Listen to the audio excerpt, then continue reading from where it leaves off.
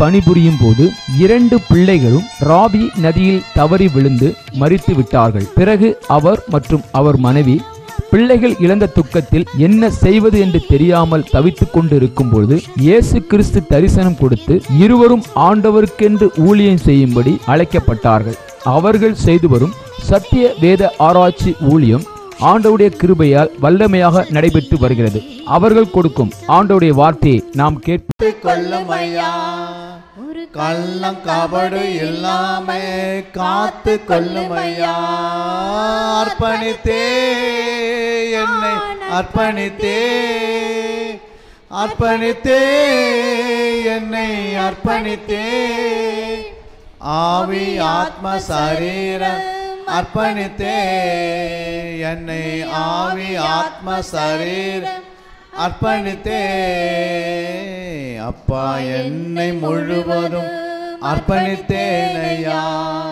உயிரோடு இருக்கும் நாளெல்லாம் உமக்கு சொந்தமையா.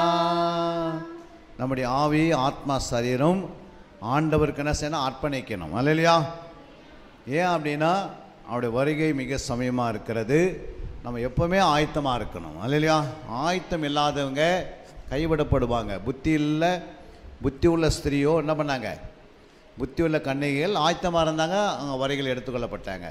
புத்தி இல்லாதவங்க என்ன செய்தாங்க? என்ன நடக்குதுன்னே தெரியாது. வேதத்தில் தெளிவாக சொல்லிட்டாரு. உலகமெங்கும் கொடிய வாத நோய்கள் வரும்னு வசனம் சொல்லியிருக்கிறது. அதனால் கொரோனா வந்துக்குதுன்னா அது இந்திய தேசத்தில் மட்டும் வரலை. உலகமெங்கும் வந்தது. நூற்றி ஐம்பத்தி ஏழு பாஸ்டர் செத்துட்டாங்க. தெரியுமா இதில்? எத்தனை பேர்? நூற்றி ஐம்பத்தி ஏழு பாஸ்டர் இறந்துட்டாங்க. பெரிய பெரிய பாஸ்டருங்க காரணம் என்ன? புரியுங்களா அவங்க என்ன ஜெபம் பண்ணாத இருந்திருப்பாங்க. ஆண்டோட வரிங்க வந்துடுச்சு முக்கியமானவங்களாம் ஆண்டு தூக்குறார் மேலே. அல்லையா போதும் ஊடித்து விட்டுட்டு வா என்கிட்ட அப்படின்றாரு. ஏன்னா இன்னும் எங்கன்னா கரைப்பட்டு போயிடுமே. அல்லையா அதெல்லாம் வாங்க அப்படின்றார். நம்ம எல்லாம் ஆயத்தமாக ஆகணும். இப்போயும் ஆயத்தமாக இருக்கணும். நாளைக்கு ஆயத்தமாக இருக்கணும். ஆண்டோட வருகை மிக சமயமாயிடுச்சு அதனால் நம்ம செய்ய வேண்டியது ஜெபம் பண்ண வேண்டியது ஜெபம் பண்ணிடணும் ஜெபத்தில் வந்து பகிர்ந்து கொள்ளணும் அறிக்கை செய்ய வேண்டிய நேரத்தில் அறிக்கை செய்யணும் சத்தியத்தை கேட்கணும் சத்தியத்தை கேட்கணும். அதுதான் புத்திசாலி அதுதான் புத்தி உள்ள கண்ணிகை அதுதான் புத்தி உள்ள ஸ்திரீ அதுதான் குணசாலி ஸ்திரீ அதை தான் வந்து யார்? அவருக்கு விருப்பமுள்ள பிள்ளைகள். அல்லையா ரெண்டு காரியத்தை ஆண்ட சொன்னார். ஒன்று ஜெபம் பண்ணுவதிலும் சத்தியத்தை போதிப்பதிலும் அவர்கள் இடைவிடாமல் அனுதன் தரித்திருந்தார்கள். அல்லையா ஆவியானவர் வந்த பிறகு முதல் க- கட்டளை கொடுக்கறது அதுதான் ஃபஸ்ட்டு சபைக்கு. புரியுங்களா? இது ரெண்டு காரணம் இல்லை சபை அப்படின்னா வரிகளை போகாது. சும்மா வந்து ஞானஸ்தானம் எடுத்துட்டேன் தசமாக கொடுத்துட்டேன் அதெல்லாம் வந்து நீ கொடுத்ததுக்கு பதில் கொடுத்துருவார் ஆண்டவர். பத்து ரூபா கொடுத்தோன்னா ஆயிரம் ரூபா கொடுத்துருவார் ஆண்டவர். கொடுப்பாரு கொடுக்க மாட்டாரா? கட்டாமல் கொடுக்குறாரு. நீ என்ன விதைக்கிறாயோ அது என்ன பண்ணுவேன் அறுப்பாய். ஆனால் நாம் ஆவி ஆத்மா சரீரத்தை வருகைக்கு நாம் தான் ஆயத்தப்படுத்தணும். உனக்கு ஒரு ஆவி இருக்கிறது. உனக்கு ஒரு ஆத்மா இருக்கிறது உனக்கு ஒரு சரீரம் இருக்கிறது அது எங்கே இருக்கிறது? சரீரம் தெரியுதும். நம்ம சரீரம் எங்கே இருக்குதுன்னு நமக்கு தெரியும். தலைவலி வந்தால் மாத்திரை போடுறோம். மாத்திரை போடாத இருக்கலாம். புரியுங்களா? தலை வலிக்குதுன்னு தெரியும். தலை எங்கே இருக்குது? சரீரத்தில் தான் இருக்கிறது. ஆனால் ஆத்மா எங்கே இருக்குன்னு கேட்டால் தலையில் இருக்குது ஆத்மா? ஆத்மா எங்கே இருக்கிறது? அதை அது வேதத்தில் தான் கண்டுபிடிக்க முடியும். வேறு எந்த புத்தகத்தில் ஆத்மா குறித்து என்ன பண்ணல? எழுதப்படலை. அல்லையா? அப்போ வேதத்தில் ஆத்மா குறித்து எழுதப்பட்டிருக்கிறது. அந்த ஆத்மா குறித்து நல்லா கற்றுக்கொள்ள வேண்டும். அல்லையா சத்தியத்தை அறிய வேண்டும். வரைக்கும் தன்னை ஆயத்தப்படுத்தவங்க தான் யார்? உலகத்தில் வரைக்கும் யாரா யாராக இருக்கலாம் அப்பா அம்மா பிள்ளைகள் உலகத்தில் வரைக்கும் இருக்கும். மரணம் சந்திட்ட பிறகு அவங்களுக்கு அது பிறகு அப்பான்ற பேர் அழிஞ்சிடுச்சு அம்மான்ற பேர் அழிஞ்சிருச்சு. பிள்ளைங்கன்ற அந்த இதை வந்து அழிஞ்சிடுச்சு அவ்வளோதான் அதோட மேட்ரு முடிஞ்சாச்சு. புரியுது? அதுக்கு பிறகு அவங்க எங்கே போனாங்கன்னு யாருமே சொல்லவே முடியாது. அல்லையா ஏன்னா உலகத்தில் வந்து வெளிங்கரமான பாவம் இருக்கிறது ரகசியமான பாவம் இருக்கிறது. புரியுங்களா வெளிங்கிற பாவம் எல்லாருக்கும் தெரியும். ஆனால் ரகசிய பாவம் யாருக்குமே தெரியாது. சிந்தனைகளே பாவத்தில் விழுந்துருவாங்க. அப்புறம் நினைவிலே பாவத்தில் விழுறவங்க ஒரு கூட்டம் இருக்கும். அப்புறம் யோசனையிலே பாவத்தில் விழுவாங்க. அல்லையா இது மாதிரி நிறைய பாவங்கள் வேதத்தில் குறித்ததை எழுதியிருக்கிறார் ஆண்டவர். அக்கிரம உதடுகள் அக்கிரம நாவு அக்கிரம வாய் அப்படின்னு வசனம் போட்டிருக்குது. புரியுங்களா யோபு என்ன சொல்கிறாரு என் உதடுகளினால் நான் பாவம் செய்யவில்லை. உதடலில் கூட பாவம் இருக்கிறது. யாருக்கு தெரியும்? இந்த உதடில் என்ன இருக்குது? பாவம் இந்த உதடில் தெரியுது. உதடில் போய் பாவம் செய்ய முடியுமா? வாயில் பாவம் செய்ய முடியுமா? ஆனால் ஆண்டவர் எழுதியிருக்கிறாரு. வாயிலும் பாவம் இருக்கிறது உதடலையும் பாவம் இருக்கிறது. இதெல்லாம் சரி செய்யணும்னா இருதயத்தை சரி செய்யணும். இருதயத்தை சரி செய்யணும்னா எண்ணங்களை சரி செய்யணும். அப்போ நினைவுகளை சரி செய்யணும். இதெல்லாம் நம்ம வந்து ஆண்டர் பார்த்து உட்காந்தா தான் கற்றுக்கொள்ள முடியும். இல்லையா நிறைய மெசேஜ் கேட்குறோம். நிறைய ஜெபிக்கிறோம். புரியுங்களா? ஆனால் ஆவியாத்மா சரி எங்கே இருக்குதுன்னு யாருக்குமே ஆவி ஆவியாத்மா சரி சரி எங்கே இருந்தால் ஒருத்தருக்கு ஊரெல்லாம் சுற்றுறான் வீடு நம்பர் மறந்துட்டாங்கன்னா எப்படி இருக்கும்? ஊரெல்லாம் சுற்றுறாங்க தன் வீட்டே மறந்துட்டாங்கன்னா என்ன பண்ணுவாங்க? இருக்கிற ஏதாவது ஒரு வீட்டில் பூந்துருவாங்களா? இல்லையே. அதே போல் தான் நம்முடைய ஆவி ஆத்மசன் நமக்கு தெரியணும் எங்கே இருக்கிறது. அதை அறிக்கை செய்ய வேண்டியது அறிக்கை செய்யணும். சுத்திகரிக்கிற நேரத்தில் சுத்திகரிக்கணும். அதை என்ன செய்யணும்? சுத்தி பலிபீடத்தில் வைத்து அதை அறிக்கை செய்யணும். பாவங்களை மறைக்கிறவன் வாழவுடைய மாட்டான். அதெல்லாம் நமக்கு நல்ல சான்ஸ் ஆண்டு கொடுத்துருக்கிறாரு. அதனால் எல்லாம் சுத்திகரித்து ஒவ்வொரு நேரத்தில் பரிசுத்தமாக வாழணும். புரியுங்களா? ஒவ்வொரு அடியை நம்ம எடுத்து வைக்கும் போது நம்ம எப்படி போனோம்? பாவம் நம்ம பர் பரிசுத்தத்துக்காக பிரிய பிரயாசப்பட்டுக்கினே போனோம். இல்லையா பாவம் இல்லைன்னு நீ சொன்னால் வஞ்சிக்கப்படுகிறாய்ன்னு சொல்லப்பட்டிருக்கிறது. என்கிட்ட பாவமே இல்லை அப்படின்னா நம்ம நாம் வஞ்சிக்கிறோம்? வசனம் எங்கே இருக்குது அந்த வசனம்? நமக்குள்ள பாவம் இல்லைன்னா நம்ம நாம வஞ்சிக்கிறோம் அப்படின்னு எங்கே இருக்குது? பாருங்க சொல்றா பாருங்க. ஒன்றியவன் ஒன்று எட்டு. வாசித்து பாருங்க. நமக்கு பாவமில்லை என்போமானால் ஆ. நம்மை நாமே வஞ்சிக்கிறவர்களாய் இருப்போம். பாருங்க நம்மை நாம வஞ்சிக்கிறவா இருப்போம். சத்தியம் நமக்குள் இராது. பாருங்க சத்தியம் நமக்குள்ள இருக்காரு இயேசு நமக்குள்ள இருக்க மாட்டார். அவர் தான் சத்தியம். அப்போ அவர் நமக்குள்ள இருக்கிறான்னா நம்ம பாவத்தை அறிக்கை செய்யணும். புரியுங்கள் நீதிமொழி இருபத்தெட்டு பதிமூணு என்ன சொல்கிறது? பாவங்களை மறைக்கிறவன் வாழ்வடைய மாட்டான். அவைகளை அறிக்கை செய்து விட்டு விடுகிறவனோ இரக்கம் பெறுவான். இரக்கம் பெறுவான். இரக்கம் எங்க இருக்குது? தேவன் எப்போ நம்மளை இறக்கம் வைக்கிறாரு? நம்ம அறிக்கை செய்யும் போது. நம்ம அறிக்கை செய்யறது இறக்கம் கிடைக்காது தேவனத்திலேருந்து புரியுங்களா? நம்ம பாருங்க பாவம் அப்படியே இருக்கட்டும் அப்படின்னா இறக்கம் கிடைக்காது. இறக்கம் இல்லைன்னா என்ன பண்ணும்? ஆண்டோடைய இறக்கம் இல்லைன்னா நிறைய நிறைய காரியத்தை இழந்து போயிடுவோம். அப்போ இறக்க பெற்றுக்கொள்ளத்துக்கு அறிக்கை செய்யணும். கிருபை பெற்றுக்கொள்ளத்துக்கு என்ன செய்யணும்? கிருபை பெற்றுக்கொள்ளத்துக்கு என்ன செய்யணும்? அவரிடத்துலேருந்து கிருபை பெறணும்னா என்ன செய்யணும்? கிருபை பெற்றுக்கணும்னா அதிகமான சோத்திரம் பண்ணணும். சோத்திரத்தால் கிருபை பெருகும். அப்போ அதிகமாக சோத்திரம் பண்ணினே இருக்கணும். அதெல்லாம் தெரிஞ்சு வச்சுருந்துருக்கணும். அல்லையா? பிதாவாக நே தே- பிதாவாக தேவனுக்கு நம்ம சோத்திரம் பண்ணணும். குமாரனாக இயேசுக்கு சோத்திரம் பண்ணணும். பரிசுத்தாவியனுக்கு சோத்திரம் பண்ணணும். நிறைய சோத்திரங்கள் இருக்கிறது. சோத்திரம் பண்ணிக்கொண்டே இருக்கணும். புரியுங்களா? ஜெபம் பண்ணலன்னா என்ன நடக்கும்? நம்ம ஜெபிக்கலை ஒவ்வொரு நாள் ஜெபிக்கலை என்ன நடக்கும்? கத்தருக்கு விரோதமாக பாவம் செய்கிறதா இருப்போம். ஜெபம் பண்ணலனா. அப்போ ஜெபம் பண்ணாததுக்கு பாவமா? அப்படின்னு கேட்பாங்க. நம்ம கேட்குறோம் நீங்கள் ஆமாம் இன்னைக்கு ஜெபம் பண்ணலன்னா நேரம் இல்லை அப்படின்றோம். ஏங்க நேரம் இல்லைன்னா நைட்டு படுத்ததே ஒரு மணிக்குன்றாங்க. புரியுங்களா? அப்போ ஒரு மணிக்கு படுத்தா என்ன பண்ண முடியும்? காலையில் எழுந்து வேலைக்கு தான் ஆயத்தமாக முடியும். புரியுங்களா? ஃபுல் எனர்ஜியை நம்முடைய சக்தியை ஆண்டு நம்ம இந்த உடலை கொடுத்தாரு. இந்த உடலில் இருக்கிற எல்லா வல்லமைகளும் எடுத்து நம்ம உலகத்துக்கு கொடுத்துட்றோம். அப்புறம் நம்ம எப்படி ஜெபம் பண்ண முடியும்? எட்டு மணி நேரம் வேலை செய்யணும். அது பிறகு என்ன செய்யணும்? ரெஸ்ட் எடுக்கணும். ஒரு நாலு மணி நேரம் ரெஸ்ட் எடுக்கணும். அப்புறம் எட்டு மணி நேரம் தூங்கணும். அப்போ தான் ஜெபிக்க முடியும். அப்போ தான் ஸ்ட்ரென்த்து நமக்கு கிடைக்கும். முழங்கால் போட்டால் காலெலாம் ஆடுது. மூணு கால் போட முடியல. நிற்க முடியல. ரெண்டு ஹவர் நிற்கணும் ரொம்ப கஷ்டப்படுறோம்.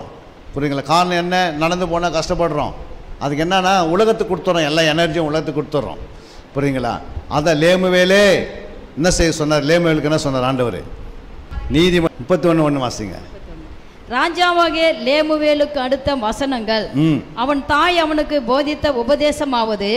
என் மகனே என் கர்ப்பத்தின் குமாரனே என் பொருத்தனைகளின் புத்திரனே ஸ்திரீகளுக்கு உன் பெலனையும் பாருங்க ஸ்திரீகளுக்கு உன் பெலனையும் உன் பெலனையும் ராஜாக்களை கெடுக்கும் காரியங்களுக்கு. உன் வழிகளையும் கொடாதே. கொடாதே. ஏன் கொடுக்கக்கூடாது புரியுங்களா? நீ தவறான வழியில் ஓடிக்கொண்டே இருந்தால் உன் பலன் போயிடும். அப்புறம் போனவும் முழங்கால் போட முடியாது ஜாம் பண்ண முடியாது ஒன்றும் பண்ண முடியாது. எனர்ஜிலாம் போயிடுதுல்ல. ரத்தம்லாம் அவுட் ஆன பிறகு என்ன இருக்குது உடம்புல? ஒன்றுமே கிடையாது. நடக்க முடியாது ஒன்றும் செய்ய முடியாது. ஆண்டருக்கு அப்புறம் என்ன பண்ணுறது அதுக்கு அதுக்கு தான் என்ன சொல்கிறாரு நீங்கள் எப்படி ப- எனக்கு காணி எனக்கு பலி செலுத்துக்கிறேன் என்ன எப்படி பலி செலுத்துனா நம்ம? ஆ? காயின் எப்படி பலி செலுத்தினா சொத்தையாக பலி செலுத்தினா விசுவாசம் இல்லாத பலி செலுத்தினா.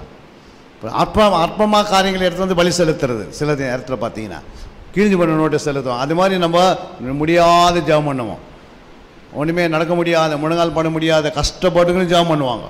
அதெல்லாம் வந்து நல்லா சாப்பிடணும் நல்லா ஜெபிக்கணும் உபவாசம் நல்லா இருக்கணும். பத்து நாள் உபவாசம் போட்டு ஆவியில் நிரம்பணும். ஏன்னா இப்போ நல்லா சாப்பிட்டோம்னா ஜெபிக்க முடியாது. ஆவியில் நிரம்ப முடியாது. வயிற்றில் சாப்பாடு போயிடுச்சுன்னா அது பிறகு நம்மளால் என்ன செய்ய முடியாது? சோறு தானே வந்துடும் நீ வயிறை வெறுமையாக்குனீங்கன்னா அவர் என்ன செய்வார்? தன்னுடைய ஆண்டு சொல்லிக்கிறார்ல தண்ணீர்களினாலே தண்ணீர் குறித்த வசனம் சொல்கிறாரா என்ன சொன்ன? தண்ணீரை குறித்து.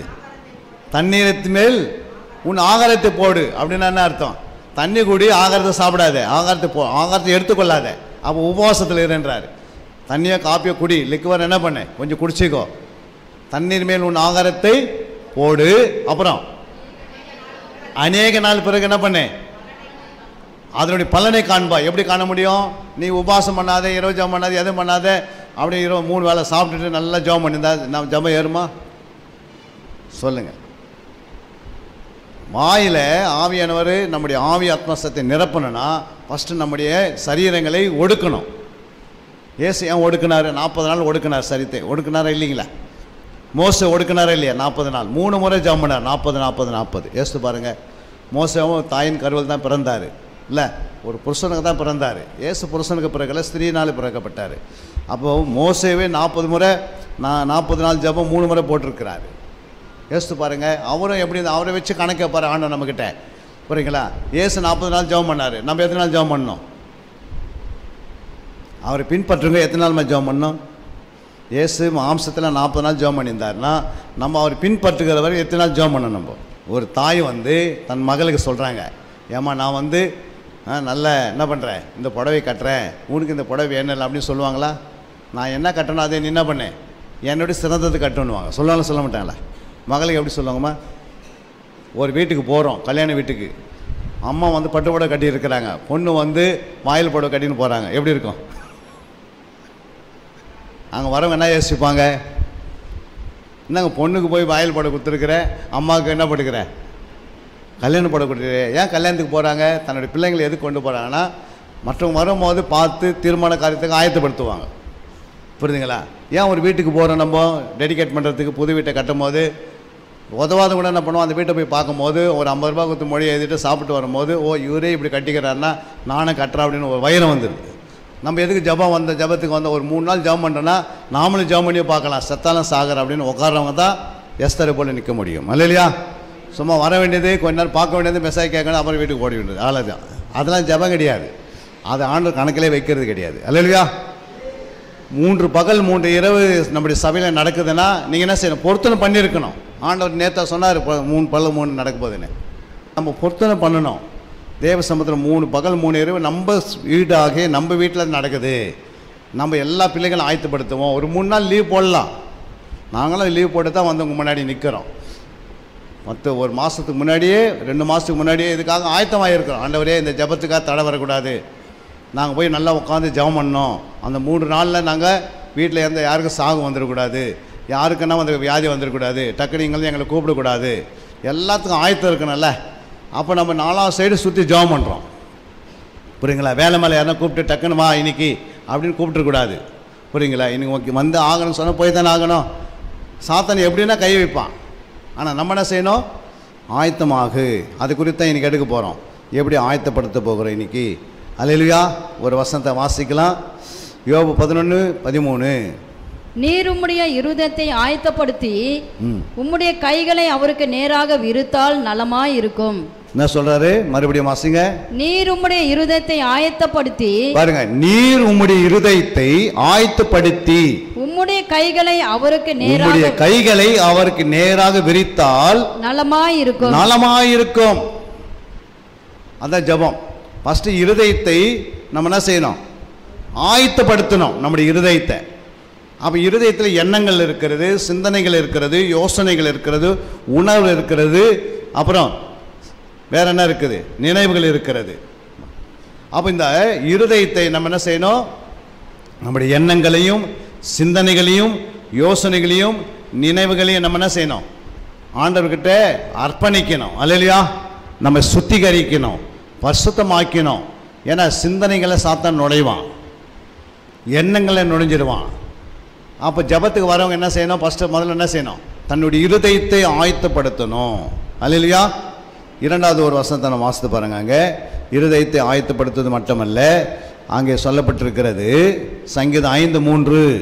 கர்த்தாவே காலையிலே என் சத்தத்தை கேட்டருளுவீர். பாருங்க கர்த்தாவே காலையில் என் சத்தத்தை கேட்டறில்வீர் காலையிலே உமக்கு நேரே வந்து ஆயத்தமாகி. காலையிலே உமக்கு நேரே வந்து ஆயத்தமாகி. காத்திருப்பேன். காத்திருப்பேன். அப்படின்னு யார் ஜெபம் பண்றது? தாவீது ஜெபம் பண்றாரு. புரியுங்களா தாவீது என்ன பண்றாரு? காலையிலே எழுந்து நான் என்ன பண்ணுவேன்? அதிகாலை அஞ்சு மணிக்கு உட்காந்தீங்களா ஜெபத்தில்? சொல்லுங்க. இங்கே வந்து நல்லா உட்காந்து பயன்படுத்தலாம்ல. அதிகாலையில் ஒரு மணிக்கு நீங்கள் ஜெபத்தில் உட்காரலாமே? புரியுங்களா? இதெல்லாம் பழக வைக்கணும். புரியுங்களா? எப்படி பழக வைக்கணும்? அது பாருங்கள் அதை குறித்து ஆண்ட சொல்கிறாரு அந்த வசனத்தை வாசிக்கலாம். அங்கே சொல்லப்பட்டிருக்கிறது. ரெண்டு சாமுவேல் இருபத்தி ரெண்டு முப்பத்தஞ்சு வாசிங்க. வெண்கல வில்லும் என் புயங்களால் வளையும்படி என் கைகளை யுத்தத்திற்கு பழக்குவிக்கிறார். பாருங்க வெண்கல வில்லும் என் புயங்களால் வளையும்படி என் கைகளை யுத்தத்திற்கு பழக்க வைக்கிறார். புரியுங்களா? அப்போ ஆயத்தம் ஆகும்போது பழகணும். ஆயத்தம் எப்படி ஆகணும்? யோசித்து பாருங்க ஆயத்தங்கள் எப்படி ஆகணும்? யோசித்து பாருங்க.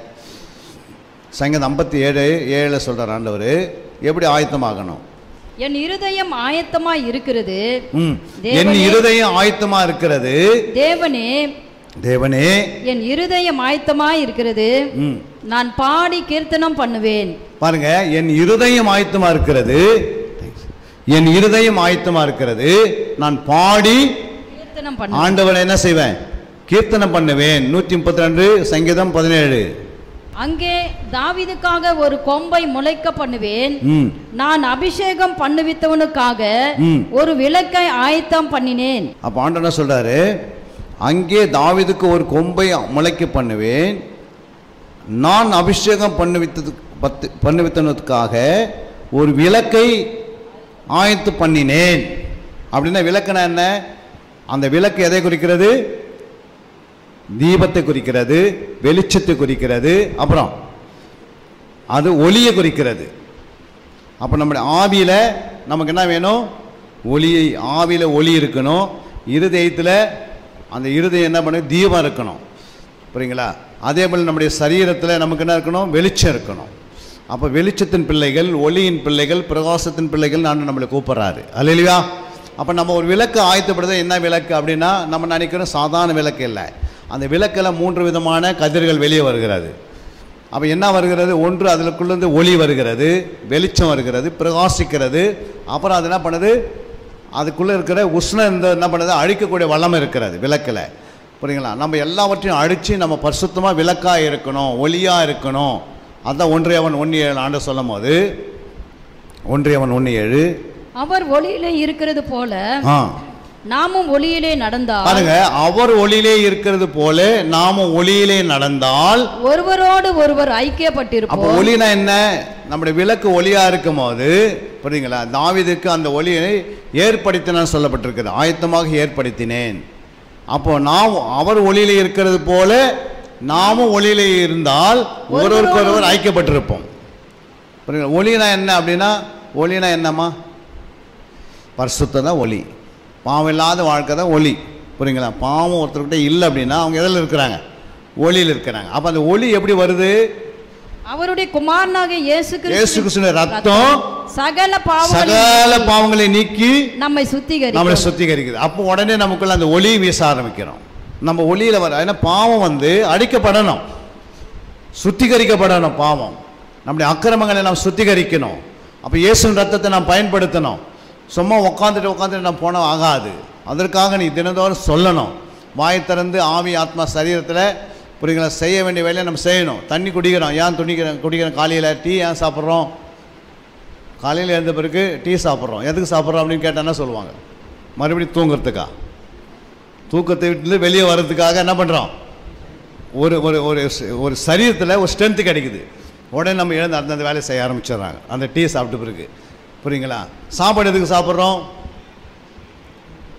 படுத்து தூங்குறதுக்கா? இல்லை. சாப்பிட்ட பிறகு அந்த எனர்ஜி நம்முடைய சரித்தை பலனை கொடுக்கறது. அடுத்த வேலையை செய்கிறேன்ல. வேலை செய்யறது தான் நம்ம ஆண்டு என்ன பண்ணார்? சும்மா செய்ய முடியுமா வேலையை? அப்போ இந்த சரீரத்தில் ஏதாவது இருந்தால் தான் நம்ம என்ன பண்ண முடியும்? அந்த வேலையை செய்ய முடியும். அதே போல் தான் ஆண்டு என்ன சொல்கிறாரு என் ரத்தம் உள்ள ஆவியில் வரும்போது ஆத்மாவில் வரும்போது சரீரத்தில் வரும்போது அது சுத்திகரிக்கும் போது தானாகவே நமக்குள்ள என்ன ஆகுது? ஒளியின் பிள்ளைகளாக நான் மாறுறோம். வெளிச்சத்தின் பிள்ளைகளாக மாறுறோம். புரியுங்க ஐக்கியத்தின் பிள்ளைகளாக மாறுறோம். ஒன்று ஒற்றுமை உள்ளவளாக மாறுறோம். இந்த பாவத்தை அறிக்கை செய்யலைன்னா ஒற்றுமை இருக்காது. அது குடும்பமாக இருக்கலாம் சபையாக இருக்கலாம் யாராக இருந்தாலும் அறிக்கை செய்யலைன்னா ஒற்றுமையாக வரமாட்டாங்க. அதனால தான் நம்ம பாருங்கள் எத்தனை பேர் வந்திருக்கிறாங்க? நம்ம ஒருவருக்கு ஒரு ஐக்கியமாக இருக்குன்னு சொன்னார். எல்லாமே ஒளியில் இல்லையே. எல்லாருக்கும் ஒரு வேலை இருக்குது. இல்லை. வேலை போயிடுமா? ஆண்டவர் வேணுமா? வேலை வேணும்னு கேட்டால் யார் வேணும்னுவாங்க? இன்றைக்கி வேலை தான் வேணும்னுவாங்க. ஏன் அப்படின்னா ஆண்டவர் எனக்கு என்ன பண்ணலாம்? அவர் இறக்கம் பாராட்டுவார். அவர் எனக்கு உதவி செய்வார்னு சொல்லிட்டு என்ன பண்ணுவாங்க? ஃபஸ்ட்டு வேலைக்கு போயிடுவாங்க. ஆனால் வேலைக்கு போகக்கூடாதுன்னு சொன்னாரா? வேலைக்கு போகணும். ஆனால் சபையில் ஒரு காரியம் நல்ல காரியம் நடக்குதுன்னா என்ன செய்யணும்? அதற்காக சபையார் இணைந்து மேய்ப்பினோடு என்ன செய்யணும்? அதில் உட்காரணும். வாசிக்கலாம் இன்னொரு வசனத்தை. அங்கே யோபு இருபத்தெட்டு இருபத்தி ஏழு அவர் அதை பார்த்து கணக்கிட்டார் அதை ஆராய்ந்து அவர் ஆயத்தப்படுத்தி காற்றுக்கு அது நிறைய என்ன செய்திருக்கிறாரு? இருபத்தெட்டு இருபத்தி ஏழில் அவர் அதை பார்த்து கணக்கிட்டார். அதை ஆராய்ந்து ஆயத்தப்படுத்தினார். அப்போ ஆயத்தம் நம்ம ஆயத்தப்படுத்துறது எப்படின்னா ஃபஸ்ட்டு ஆராயணும். சோதித்து அறியணும் நல்லதா கெட்டதான்னு நம்ம என்ன செய்யணும்? எந்த ஒரு காரியத்தையும் நல்லதா கெட்டதா என்று ஆய் ஆராய்ந்து அது பிறகு ஆயத்தப்படுத்திக்கணும். அல்லையா ஆராய்ந்தால் தான் ஆயத்தப்படுத்த முடியும். ஆராயாமல் நம்ம என்ன செய்ய முடியாது? தன்னை ஆயத்தப்படுத்த முடியாது. அதை இருதயத்தை ஆயத்தப்படுத்தி என்கிட்ட வான்றாரு அப்படின்னு செய்திருக்கிறாரு. அப்போ நாம் என்ன செய்யணும்? நம்முடைய இருதயத்தை ஆயத்தப்படுத்துக்கு முன்பாக நம்மை ஆராய்ந்து பார்க்கணும். நம்மை நிதானித்து பார்க்கணும். நம்முடைய ஆவியில் ஆத்மாவில் சரீரத்தில் குடும்பத்தில் புரியுங்களா ஒவ்வொரு காரியத்தையும் ஆராய்ந்து தான் நிதானிக்க சொல்கிறார் ஆண்டவர். ஆவிக்குரிய எல்லாவற்றையும் ஆராய்ந்து நிதானிப்பார்கள் என்ற வசனம் புரியுங்களா மற்றொருவனால் நிதானிக்கப்பட மாட்டால் அவங்கவுங்க என்ன செய்யணும்? நம்ம ஆராய்ந்து பார்க்கணுமே. இன்னொரு வசனத்தை கூட நம்ம அங்கே பார்க்கும்போது நீங்கள் வாசிக்கலாம். நீதிமொழி இருபத்தொன்று முப்பத்தொன்று குதிரை யுத்த நாளுக்கு ஆயத்தமாக்கப்படும் ஜெயமோ கர்த்தரால் வரும். பாருங்க குதிரை இது நாளுக்கா ஆயத்த ஆயத்தமாக்கப்படும். ஜெயமோ கத்தரால் வரும்.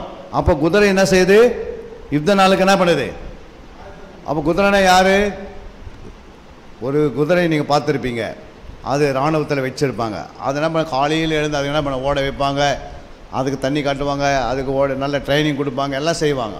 ஏன்னா அது ஆயத்தமாகணும் இராணுவத்துக்கு போகிறதுக்காக யுத்தத்துக்கு போகிறதுக்காக அதே போல் தான் ஆண்டனை சொல்கிறாரு நாமளும் ஒரு குதிரைகளாக சிறந்த குதிரையில் இருந்து எப்பவுமே அதிகாலை எழுந்து க என்ன ஆயத்தமாகணும். புரியுங்களா? அப்போ நமக்கு ஒரு ட்ரைனிங் ஆண்டு கொடுக்குறா பயிற்சி கொடுக்குறாரு. அதனால தான் ஜெபிக்கிறவங்களுக்கு எந்த ஒரு நோய் வராது. ஜெபிக்கிறவங்களுக்கு அந்த வியாதிகள் டச் பண்ணாது. ஜெபிக்கிறவங்களுக்கு பார்த்தீங்கன்னா இந்த கொரோனாங்கிறாலாம் டச் பண்ணாது. நீ கேப் கொடுத்தா தான் டச் பண்ணும். பயம் வந்துச்சுன்னா அது பிறகு அவன் அஷ்டம் போயினே இருப்பான். நீங்கள் கேப் கொடுத்துட்டீங்கன்னா உள்ளே நுழைஞ்சிடுவான் நீங்கள் கேப் கொடுக்கலன்னா என்ன பண்ணுவான்? அவனால் உள்ளே வர முடியாது. அதனால தான் எப்பவுமே வந்து நம்ம கை கழுவணும் அப்புறம் இது செய்யணும். இதெல்லாம் ஞானத்தினால செய்கிறது ஆனால் ஜபம் என்ன செய்யுதுன்னா நம்மளை சுட்டு வெயில் அடிக்குது. ஒரு அக்னிமயமான நாவு நம்ம மேலே வந்து இறங்குது. ஜபம் பண்ணும்போது. அதை நம்மளுக்கு பாதுகாப்பு தருது.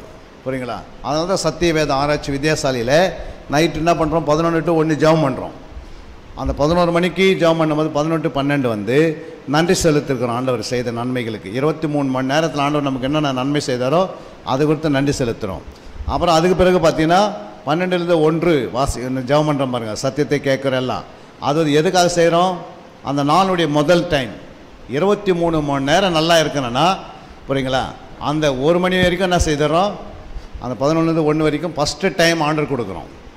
எந்த டைமு அந்த நாள் பிறக்குதுன்னா அந்த நாள் முதல் நாள் ஆண்டவரை பார்க்கணும். அவர் முகத்தை பார்க்கணும். நம்ம அஞ்சு மணிக்கு பார்க்கலாம் தப்பு கிடையாது. நாலு மணி தூங்கிட்டு பார்க்குறது அதுகளை எவ்வளோ பேர் எழுந்துக்கிறாங்க உலகத்தில். காக்கா குருவிகள்லாம் எழுந்து நம்மளை கத்த ஆரம்பிச்சிடுது அப்புறம் நம்ம லாஸ்ட்டில் எழுந்து அப்பா எனக்கு உதவி செய்யன்னு கேட்குறோம். புரியுதுங்களா? ஆனால் அதுக்கு முன்னாடி என்ன பண்ணோம் முதல் பலன் யார் கொடுக்கணும்? கத்தருக்கு இது.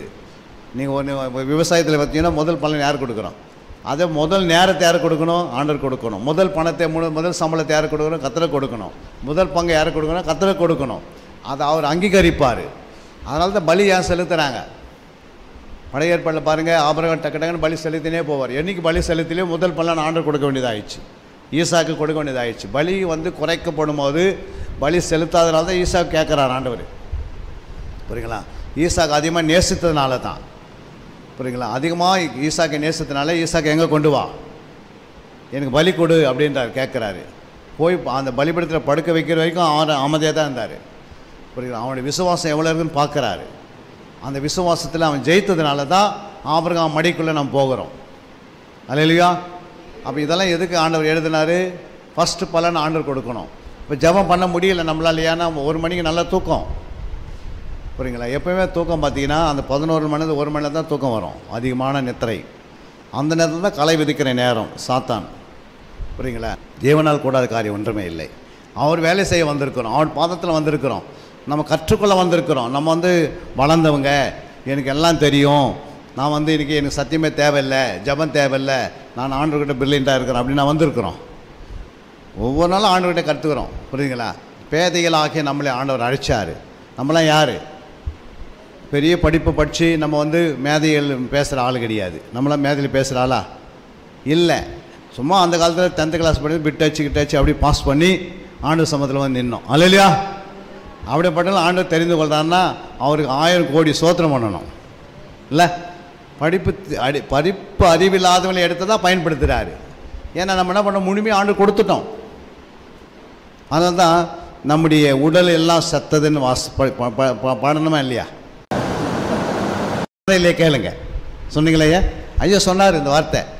உங்ககிட்ட நான் ஓடியாருனா ரொம்ப கஷ்டம். இஞ்சி நாங்கள் பெட்டியாக இருக்கிறோம். அங்கங்கே நின்றுக்கிறோம் இன்ஜின் என்ன பண்ணுது? அந்த வேறு பெட்டி மாட்டின்னு ஓடுது. அல்ல இல்லையா அப்போ என்னன்னா ஒவ்வொரு கர்த்தர் அப்படி தான் தரிசனத்தை காட்டுவார். எடுத்து பிறகு காட்ட மாட்டார். நம்மளை எதுக்காக பிடிக்கிறாரு? அப்போ மாம்சத்தில் நம்ம மறிக்கணும்ல. சாகணும். செத்தா தான் என்ன பண்ணோம்? அப்படி சரீரம் செத்தது. புரியுங்களா? தொண்ணூத்தொம்போது வயசு வரைக்கும் ஆபரகம் வரை சரியாக சாகலை. புரியுங்களா? ஆண்ட சொல்கிறாரு இனிமேல் நீ என்ன பண்ண? பதினேழு ஒன்று வாசிங்க. ஆதியம் பதினேழு ஒன்று என்ன சொல்ல பாருங்க ஆண்டவர். கடைசி வார்த்தை சொல்றார் ஆண்டவர். ஆபிரகாமுக்கு. ஆபிரகாம் தொண்ணூற்றொன்பது வயதான போது ஆபிரகாம் தொண்ணூற்றி ஒன்பது வயதான போது கர்த்தர் ஆபிரகாமுக்கு தரிசனமாகி கர்த்தர் ஆபிரகாம் தரிசனமாகி நான் சர்வ வல்லமையுள்ள தேவன் தேவன் நீ எனக்கு முன்பாக நடந்து கொண்டு பாருங்க நீர் எனக்கு முன்பாக நடந்து கொண்டு உத்தமனாயிரு பாருங்க உத்தமன் என்று பேர் எப்- எப்ப சொல்ற? உத்தமனா இருன்றார். இது வரைக்கும் உத்தமனா இல்லை. செவன்டி ஃபைவ்லேருந்து நைன்டி நைன் வரைக்கும் உத்தமனா இல்லாம. இனிமேல் தான் நீ எனக்கு உத்தமனா இருக்குன்னு சொல்றார். தொண்ணூத்தொம்பதுல வந்து சந்திக்கிறார் ஆண்டவர். இருபது கடைசி வசனம் வாசித்து பாருங்க. இருபது கடைசி ரெண்டு வசனம். ஆபிரகாமுடைய மனைவியாகிய சாராளி நிமித்தம். கர்த்தர் அபிமெலக்குடைய வீட்டாரின் கர்ப்பங்கள் எல்லாம் அடைத்திருந்தபடியால் ஆபிரகாம் தேவனை நோக்கி வேண்டிக் கொண்டான். அப்பொழுது தேவன் அபிமெலேக்கையும் அவன் மனைவியையும் அவன் வேலைக்காரிகளையும் குணமாக்கி பிள்ளை பெறும்படி அனுக்கிரகம் பண்ணினார். யார் ஜோம் பண்ணுது? ஆபிரகாம் யாரும்மா ஜோம் பண்ணுது? ஏம்மா யார் ஜோம் பண்ணுது? ஆபிரகாம் தேவனை நோக்கி வேண்டிக் கொண்டான். ஆபரகாமுக்கே குழந்தை இல்லை. ஆனால் யாருக்கு ஜோம் பண்ணுகிறாரு? அபிமெலேக்கு. அபிமேலுக்கு ஜெபம் பண்ணுறாரு அவன் மனைவி அவங்களுடைய சொந்த பந்தங்களுக்கு ஜெபம் பண்ணுறாரு பிள்ளைகளுக்கு ஜெபம் பண்ணுறாரு கூடங்களுக்கு ஜெபம் பண்ணுறாரு இன்னும் ஆபரகாமுக்கு என்ன ஆகல? குழந்தை யாருமே இல்லை. இருபது வரைக்கும் எதுவுமே கிடையாது. அப்படின்னா என்ன அர்த்தம்னா உனக்கு குழந்தை இல்லை அப்படின்னா ஃபஸ்ட் என்ன செய்யணும்? ஒரு பத்து பேர் குழந்தை இல்லாதவங்களை கொண்டு வந்து பேர் எடுத்துன்னு வந்து நீங்கள் கிட்ட கொடுத்துட்டா போதும் அவங்ககிட்ட. பத்து பேருக்கு நீ ஜெபம் பண்ணு. குழந்தை இல்லாதவங்களுக்கு. உனக்கு தானே குழந்தை உருவாயிடும். அந்த நாள் எப்போ வந்ததுன்னா அந்த இருபதாம் அதிகாரத்தில் தான் வந்தது. உனக்கு ஒரு கஷ்டம் வருதுன்னு வச்சுக்கோ. உனக்காக ஜோம் பண்ணாத. மற்றவர்களுக்காக நீ ஜெபம் பண்ண ஆரம்பிச்சு. உன் கஷ்டம் போயிடும். அப்படி தான் ஆண்டவர் வச்சிருக்கிறார். பாருங்கள் ஆபரகம் மற்றவர்களுக்காக ஜெபம் பண்ணால் குழந்தை பிறகுதா இல்லையா? அப்போ இவன் எவ்வளோனா ஜோம் பண்ணியிருப்பான் ஆண்டவர்கிட்ட. ஆனால் இவனுக்கு என் குழந்தை பிறக்கல? யோசித்து பாருங்க. மற்ற பிறனுக்காக அவன் ஜெபம் பண்ணும்போது தான் ஆண்டவர் இருபத்தி ஒன்றில் அந்த சாராலை ஆண்டவர் என்ன செய்கிறார் கடாட்சிக்கிறார். வாசிங்க. இருபத்தொன்று ஒன்று கர்த்தர் தாம் சொல்லியிருந்தபடி சாரால் பேரில் கடாட்சமானார். பாருங்க சாரால் பேரில் கடாட்சியமானார் கர்த்தர் தாம் உரைத்தபடியே சாராளுக்கு செய்தருளினார். ஆபிரகாம் முதிர்வயதாய் இருக்கையில் ம், ம். சாரால் கர்ப்பவதியாகி. தேவன் குறித்திருந்த காலத்திலே அவனுக்கு ஒரு குமாரனை பெற்றாள். அப்பொழுது ஆபிரகாம் தனக்கு சாரால் பெற்ற குமாரனுக்கு ஈசாக்கு என்று பெயரிட்டான். தன் குமாரனாக ஈசாக்கு பிறந்த எட்டாம் நாளிலே. ஆபிரகாம் தனக்கு தேவன் கட்டளிட்டிருந்தபடி அவனுக்கு விருத்த சேதனம் பண்ணினான். யாருக்கு? ஈசாக்கு? ஈசாக்கு விருத்த சாதனம் பண்ணுறப்ப தான் ஆபிரகாம் தனக்கு என்ன பண்ணுறான் அந்த தொண்ணூத்தொம்பது வயசில் விருத்த சாதனம் பண்ணுறான் புரியுங்களா? நூறாவது வயசுல இது நடந்துனுக்குது ஆண்டு சொன்ன வசனத்தின்படி வாக்கு தத்தம் நிறைவேறுகிறது. புரியுது ஆண்டு சொன்னாலும் அப்படியே நிறைவேற்றுவார். ஒரு தவறும் கிடையாது. புரியுங்களா? நம்ம வ- வசனத்தை வந்து சரியாக அறியாத நான் என்ன பண்ணுறோம் எனக்கு குழந்த பாக்கியம் இல்லை. எனக்கு வீடு இல்லை. எனக்கு வந்து அது இல்லை இது இல்லைன்னு புலம்பிக் கொண்டு இருக்கிறோம் அப்படிலாம் இல்லை ஆண்டவர். நீ உனக்கு என்ன தேவையோ அது பிறனுக்கு தேவைப்படுது நீ ஜெபம் பண்ணணும். புரியுங்களா உனக்கு என்ன கஷ்டமோ அவங்களுக்கு முதல் ஜெபம் பண்ணு. நீ உத்தமனாயிரு புரியுங்களா இது வரைக்கும் உத்தமனா யாரும் இல்லை. ஆபரகம் என்ன செய்யலை? பதினேழு ஒன்றில். இனிமேல் என்ன செய்யணும். நீ உத்தமனா எனக்கு என்ன பண்ணோம் நட.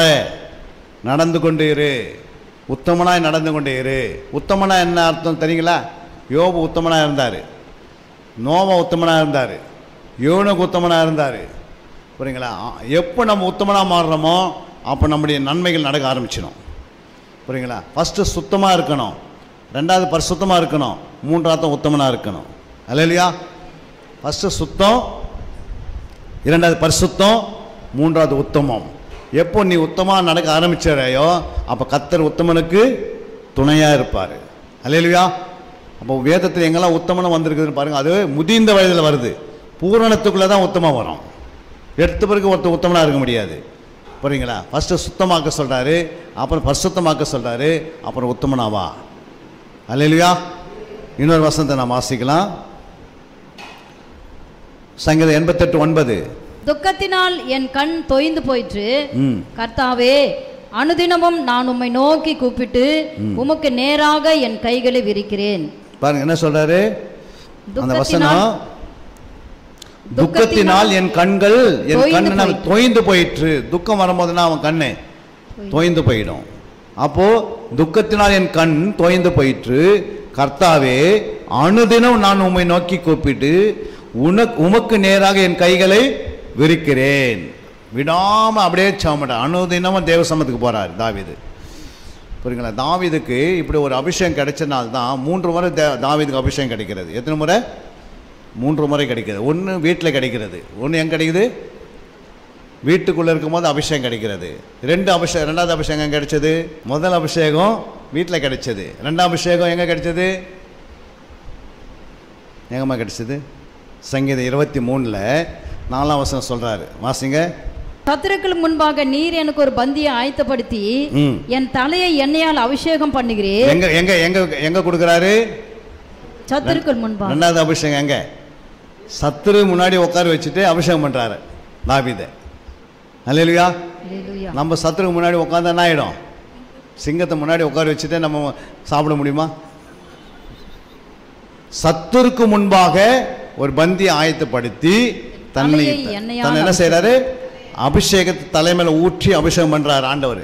அப்ப பாருங்க சத்துருக்கு முன்பாக அபிஷேகம் பண்றவர் நம்ம ஆண்டவர். அல்லையா அதனால் இதெல்லாம் வந்து நமக்கு தெரிஞ்சிருக்கணும். மூன்றாவது அபிஷேகம் எங்கே நடந்தது? மொத்தம் மூணு அபிஷேகம் தாவீதுக்கு. புரியுங்களா? நமக்கு எத்தனை அபிஷேகம் தெரியுமா? நமக்கு எத்தனை அபிஷேகம்? இருபத்தோரு அபிஷேகம் நமக்கு. எத்தனை? இருபத்தி ஓரு முறை அபிஷேகம் பெறணும். பரிசுத்தாய் பெறணும். பாருங்க அங்கே அப்போ சொல்ல பெறாங்க எப்படி பெறாங்க பாருங்க. ரெண்டாம் அதிகாரம் ரெண்டாம் வசனம். அப்போ சொல்ல ரெண்டு ரெண்டு. அப்பொழுது பலத்த காற்று அடிக்கிற முழக்கம் போல. அப்பொழுது பலத்த காற்று அடிக்கிற முழக்கத்தை போல் வானத்திலிருந்து சரிதியாய் ஒரு முழக்கம் உண்டாகி ஒரு முழக்கம் உண்டாகி அவர்கள் உட்கார்ந்திருந்த வீடு முழுவதையும் நிரப்பிற்று. பாருங்க வீடு முழுவே நிரம்பிற்று. புரியுதுங்களா? ரெண்டுல என்ன ஆயிடுச்சு? எல்லார் மேலும் ஆவியார் இறங்கிட்டார். நூற்றி இருபது பேர் மேலே இறங்கி இருக்கிறாரு நாலாம் அதிகாரம் முப்பத்தொன்று வாங்க முப்பத்தி ஒன்றுக்கு அப்போ நாலு முப்பத்தி ஒன்று அவர்கள் ஜெபம் பண்ணின போது அவர்கள் ஜெபம் பண்ணின போது அவர்கள் கூடியிருந்த இடம் அசைந்தது. கூட இருந்த இடம் அசைந்தது. அவர்கள் எல்லாரும் பரிசுத்த ஆவினால் நிரப்பப்பட்டு அவர்கள் எல்லாரும் பரிசுத்தாயில் நிரப்பப்பட்டு தேவ வசனத்தை தைரியமாய் சொன்னார்கள். அப்போ முதல்ல கொடுத்த அபிஷேகம் என்ன அபிஷேகம்? சொல்லுங்க. யோசித்து பாருங்க. இப்போ இருபதாம் அதிகாரம் இருபத்தொன்று வாசிங்க. யோவான். இயேசு மறுபடியும் அவர்களை நோக்கி உங்களுக்கு சமாதானம் உண்டாவதாக பிதா என்னை அனுப்பினது போல. நானும் உங்களை அனுப்புகிறேன் என்று சொல்லி. அவர்கள் மேல் ஊதி. பரிசுத்த ஆவியை பெற்றுக்கொள்ளுங்கள் அப்படின்னு சொன்னார் இல்லையா அப்போது இயேசு கிறிஸ்து அப்போ ஆவியானவர் இறங்கத்துக்கு முன்னாடியே இயேசு பூமியில் இருக்கிற போது புரியுதுங்களா மறித்து உயிர்த்தெழுந்த இயேசு கிறிஸ்து இருக்கும்போதே ஒரு முறை அவங்க மேலே ஊதி பரிசுத்தை பெற்றுக்கிறாங்க அப்போ எத்தனை முறை தான் பெற்றுக்குது பரிசுத்தாவியை இன்னும் நீங்கள் அப்போசல் புஸ்தகத்தை போய் தெளிவாக வாசிங்கன்னா எங்கெல்லாம் அபிஷேகம் இறங்குதுன்னு பார்க்கணும். புரியுங்களா? ஒவ்வொன்றுக்கும் அபிஷேகம் வேணும். நின்று ஜெபம் பண்ணுறதுக்கு ஒரு அபிஷேகம் வேணும். புரியுங்களா? நம்ம நினைக்கிற மாதிரி கிடையாது. புரியுங்களா? நீங்கள் முழங்கால் படிட்டு ஜெபம் பண்ணுறதுக்கு ஒரு அபிஷேகம் அப்போ தான் முழங்கால் படிக்க முடியும். சும்மாலாம் என்ன பண்ண முடியாது. முழங்கால் படிய முடியாது. புரியுங்களா? எல்லாவற்றுக்கும் அண்ணன் என்ன செய்கிறாரு தன் அபிஷேகத்தை ஊற்றுகிறார். ஞானத்துக்கு ஒரு அபிஷேகம் இருக்கிறது. கேட்கணும். நம்ம கேட்குறதில்ல அதனால என்ன பண்ணதில்ல? வரங்களில் ஒம்பது விதமான அபிஷேகம் ஆவியான ஊற்றுகிறார். ஒன்பது வரங்களுக்கும். நம்ம கேட்டு நம்ம அதை அறிந்து பெற்றுக்கொள்ளணும். வல்லமையின் அபிஷேகம் இருக்குது அதிகாரத்தின் அபிஷேகம் இருக்குது பிசாசுகள் அழிக்கக்கூடிய அபிஷேகம் இருக்கிறது. புரியுங்களா? தேவன் நம்ம மேலே வைத்து அடி வாங்கறதுக்கும் அபிஷேகம் கொடுக்குறாரு. புரியுங்களா? ஏதாவது ஒரு இடத்துக்கு போய் ஒரு மனுஷன் மனம் திரும்பணும் அப்படின்னா அந்த மனுஷன் பொல்லாதவனாக இருந்தால் சேவனை போல அனுப்புவார் ஆண்டவர். சேவனை எவ்வளோ அடி வாங்கினார்? என்ன செய்தார் எதிர்த்தாரா? அதே போல் ஒருத்தர் நம்ம மேலே யாரா பேசுகிறாங்க தேவையில்லாத வார்த்தை பேசுகிறா அதை சகித்துக்கொள்ளுக்கும் அபிஷேகம் வேணும். அபிஷேகமும் வசனமும் ரெண்டும் இணைக்கப்படுறது தான் அபிஷேகம். அப்படி தான் பத்து முப்பத்தேழு எழுதுறாரு. வாசிங்க. அப்போ சில பத்து முப்பத்தெட்டில் சொல்கிறா பாருங்க. நசரேயனாகிய இயேசுவை. தேவன் பரிசுத்த ஆவியினாலும் வல்லமையினாலும் அபிஷேகம் பண்ணினார். என்ன அர்த்தம்? ஒரு அபிஷேகம்னா என்ன? ஒரு பரிசுத்த அபிஷேகம்னா என்னம்மா? பரிசுத்த ஆவினாலும் ஒன்று வல்லமையினாலும். பரிசுத்தாவி அடுத்தது வல்லமைனாலும் ரெண்டாவது வல்லமை அப்புறம் மூன்றாவது அதாவது அபிஷேகம் ஒருத்தர் மேலே இறங்குதுன்னா மூன்று காரியங்கள் உள்ளே வரணும். அப்போ தான் அபிஷேகம். எத்தனை? மூன்று. ஒன்று வந்து பிதாவின் வல்லமை அவருக்கு கிடைக்குது அன்னைக்கு. என்ன கிடைக்குது? பிதாவின் வல்லமை. ரெண்டாவது பரிசுத்த ஆவியானவருடைய பரிசுத்த ஆவி கிடைக்குது. என்னது? பரிசுத்த ஆவியானவருடைய பரிசுத்த ஆவி கிடைக்குது. மூன்றாவது இயேசு வார்த்தையாக இருக்கிறார். என்ன இருக்கிறாரு? இந்த வேதமாக இருக்கிறார் வேதமாக இருக்கிறார். இந்த வேதத்தின் மேலே வல்லமையும் பசுத்தம் இறங்குறதுக்கு பேர் தான் இது அபிஷேகத்தின் புத்தகம் அப்படி மாறுறாங்க. புரியுங்களா அப்போ வேதம் வேதமாக இருக்கிறார் இயேசு இயேசுனவா இருக்கிறாரு? வார்த்தையினால் உருவாக்கப்பட்டனால வார்த்தையாக இருக்கிறாரு. அந்த வார்த்தைக்கின் மேலே என்ன ஊற்றப்படுது? வல்லமை இறங்குது. அப்புறம் பர்சுத்தம் இறங்கின பிறகு இது மூன்று இணைகிற இடத்துக்கு தான் என்ன பேர்? அபிஷேகம். என்னது? அபிஷேகம். நீங்கள் பார்த்துருக்கிறீங்களா? அபிஷேகம் வந்து தைலத்தை எப்படி உருவாக்குறாங்க?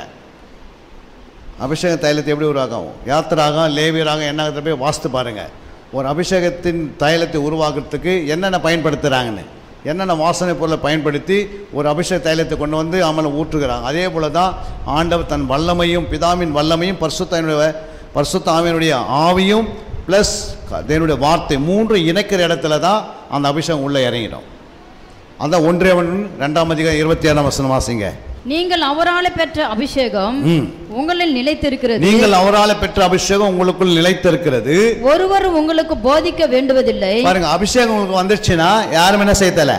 ஒருவரும் உங்களுக்கு போதிக்க தேவை புரியுங்களா யாரான போதிக்க வேண்டிய அவசியம் இருக்குதா? ஏன் போதிக்க தேவையில்ல?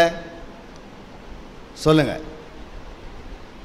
ஏமா ஏன் போதிக்க தேவையில்ல? ஆவியான் நமக்குள்ள இருக்கும்போது போதி- அந்த அபிஷேகத்துக்குள்ள வார்த்தை இருக்குது. அப்புறம் பரிசுத்தாவி இருக்கிறது. அப்புறம் வல்லம் இருக்கிறது. இந்த அபிஷேகம் மேலே இறங்கிடுச்சுன்னா நீங்கள் என்ன செய்வீங்க? ஆட்டோமேட்டிக்காக யாரும் போதிக்க தேவையில்லை. இந்த போதிக்கிற ஆவி அதான் சொல்கிறார் சத்தியம் என்ற அபிஷேகம். இது உங்களுக்குள்ள நிலைத்து இருக்கணும் இது பெற்றுக்கொள்ளணும். புரியுங்களா இதெல்லாம் வந்து எப்படி வரும்? நீ கேட்கணும். வெறுமையான பாத்திரத்து மேலே ஆண்டு ஊற்றவே மாட்டார் ஆண்டவர். புரியுங்களா? வெறுமையான பாத்திரமாக இருக்கக்கூடாது. இயேசு மேலே ஏன் ஃபுல்லாக இறங்குச்சு அப்படின்னா இறங்குனே வார்த்தை நிரம்பி இருக்கிறது புரியுங்களா? அதே நீங்கள் முப்பத்தி ரெண்டு பதினெட்டு வாசித்து பாருங்கள் யோபில் முப்பத்தி ரெண்டு பதினெட்டு. வார்த்தைகள் எனக்கு நிறைந்திருக்கிறது. பாருங்க வார்த்தைகள் எனக்குள் நிறைந்திருக்கிறது. என் உள்ளத்தில் உள்ள ஆவி என்னை நெருக்கி என். உள்ளத்தில் உள்ளகிற ஆவியானவர் என்னை நெருக்கி ஏவுகிறார். என்ன செய்கிறாரு நெருக்கி ஏவுகிறது நம்ம என்ன பேசணும்னு வார்த்தை நிரம்பி இருந்தால் தான் ஆவியானவர் தன் தன் ஆவியே என்ன பண்ணுவார்? அவர் என்ன பேசுறன்னு வெளியே கொண்டு வருவார். இல்லையா அவன் வார்த்தையை நீங்கள் நிரப்பல அப்படின்னா இருதயத்தில் அதனால தான் வேதத்தை எது கொடுத்தாரு ஆண்டவர்? இந்த வேதம் எது கொடுத்தாரு? வேதம் உள்ள வானம் வராது. வருமா? அப்படின்னு ஒரு வார்த்தை சொல்லி வேதத்தை பெற்றுக்கொள்றதா இருந்தால் வேதம் நம்ம கையில் தேவையில்லை. இல்லை? வேதம் எதுக்குன்னா நீ படித்தாதான் இது உள்ளே வரும். இது தேடனா தான் வரும். இதுக்கு நேரம் கொடுத்தா தான் இது உள்ளே வரும். அதனால தான் மரியாதை பார்த்து என்ன சொன்னார் ஆண்டவர்? நல்ல பங்கு. யாரை பார்த்து சொன்னார்? மரியாதை பார்த்து சொன்னார். ஏன்னா மரியாள் எங்கே இருந்தாங்க? அவருடைய பாதத்தில் உட்காந்தாங்க யாருடைய பாதத்தில்? இயேசுவின் பாதத்தில் உட்காரும் போது நல்ல பங்கை தெரிந்து கொண்டாள் மரியாள். அப்போ நல்ல பங்கு எப்படி எப்படி தெரிந்து கொள்ள முடியும்? நீ உட்காரணும்ல. மணிக்கணக்கில் உட்காந்தாதான் படிக்கணும். நாங்களாம் பிடிஹெச் படிக்கும் போது நைட்டு ஒரு மணி வரைக்கும் பைபிள் வைக்க மாட்டோம். புரியுங்களா? படிச்சுனே இருப்போம் எழுதினே இருப்போம். இப்போ கூட பார்த்தீங்கன்னா இந்த மாதிரி நோட்டு பார்த்தீங்கன்னா மூணு நோட்டுக்கு முடித்தோம் இது வந்து நூறு பேஜ் இது. புரியுங்களா? இது மாதிரி வந்து இந்த ஊரடங்கு நேரத்தில் மார்ச் இருபத்தி மூணாம் தேதியிலேருந்து இந்த நாள் வரைக்கும் பார்த்தீங்கன்னா மூன்று நோட்டு என்ன பண்ணுறோம் முடிச்சுட்டோம். ஏன் அப்படின்னா அவ்வளோ மெசேஜ் நூற்றி ஐம்பது மெசேஜ் எடுக்க ஆண்டு கிருபி செய்தார். நூற்றி ஐம்பது மெசேஜ் கொடுத்துட்டோம். நைட்டில் டெய்லி ஒரு மெசேஜ் காலைல ஒரு மெசேஜ் மத்தியானம் ஒரு மெசேஜ் சாப்பிட வேண்டியது மெசேஜ் கொடுக்க வேண்டியது ஜெபம் பண்ண வேண்டியது சாப்பிட வேண்டியது மெசேஜ் கொடுக்க வேண்டியது வேதத்தை வாசிக்க வேண்டியது. நல்லா அந்த ஊரடங்கு நமக்கு என்ன ஆயிடுச்சு? இது மாதிரி ஊரடங்கு ஒரு வருஷம் இருந்தால் எப்படி இருக்கும்?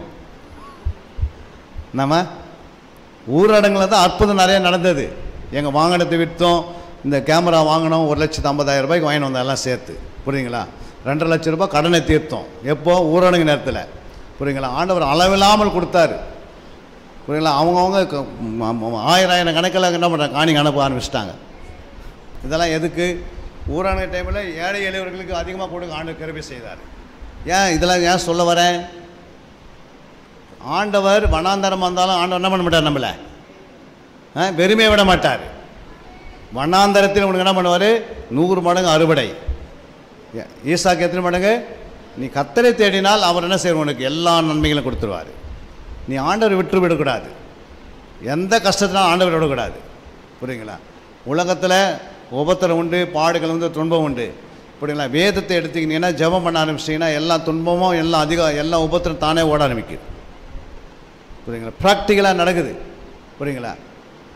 ஆகாரத்துக்கு குறை வைக்கலை உணவுக்கு குறை வைக்கல உடைக்கு குறை வைக்கல புரியுங்களா? கொடுக்கறதில் குறை வைக்கலை தாங்குவதில் குறை வைக்கல அவருக்காக எழும்புவதில் குறை வைக்கல புரியுங்களா? நிறைய இடத்துல செபத்தை நடத்தான கிருபை செய்தார். ஏன் சொல்ல வரேன்னா கத்தரை தேடணும். அவரே சார்ந்து வாழணும். ஒரு வாழ்க்கை தான். நம்ம ஏன் உலகத்தில் மனுஷனை வாழ்ந்து வாழ்க்கணும்? மனுஷன் வந்து எல்லாம் தேவை. ஐயா தேவையில்லையா? ஐயா தேவை இல்லையா ஐயா தேவையில்லையா? எல்லாமே தேவை. ஓ, இது வந்து ஐக்கியம். ஒருவருக்கு ஒரு ஐக்கியமாக இருக்க சொன்னார். எனக்கு யாருமே வேணாம் நான் மட்டும் தனியாக ஓடுறேன். அப்படிலாம் ஆண்டு சொல்லலை. நம்மோட ஒரு ஐக்கியத்தை உண்டாக்குறார் ஆண்டவர். அல்லையா ஆனால் கத்த கூட இருந்தால் தான் இதெல்லாம் நடக்கும். புரியுங்களா? கத்த நம்மோடு இருக்கணும்னா நீங்கள் நல்லா சபைக்கு வந்து நீங்கள் தேவ சமூகத்தில் நிறைய நேரத்தை என்ன செய்யணும்? ஆண்டவருடைய பாதத்தில் உட்காந்து வேதத்தை வாசிக்கணும். தேவ பாதத்தில் உட்காரணும். டைம் எடுக்கணும். நல்லா துதிக்கணும். ஆராதிக்கணும். ஜெபிக்கணும். நிறைய ஆண் ஜனங்களுக்காக ஜெபித்துக்கினே இருக்கணும். இந்த பட்டணம் உங்கள் பட்டணத்துக்காக நீங்கள் நிறைய ஜெபிக்கணும்.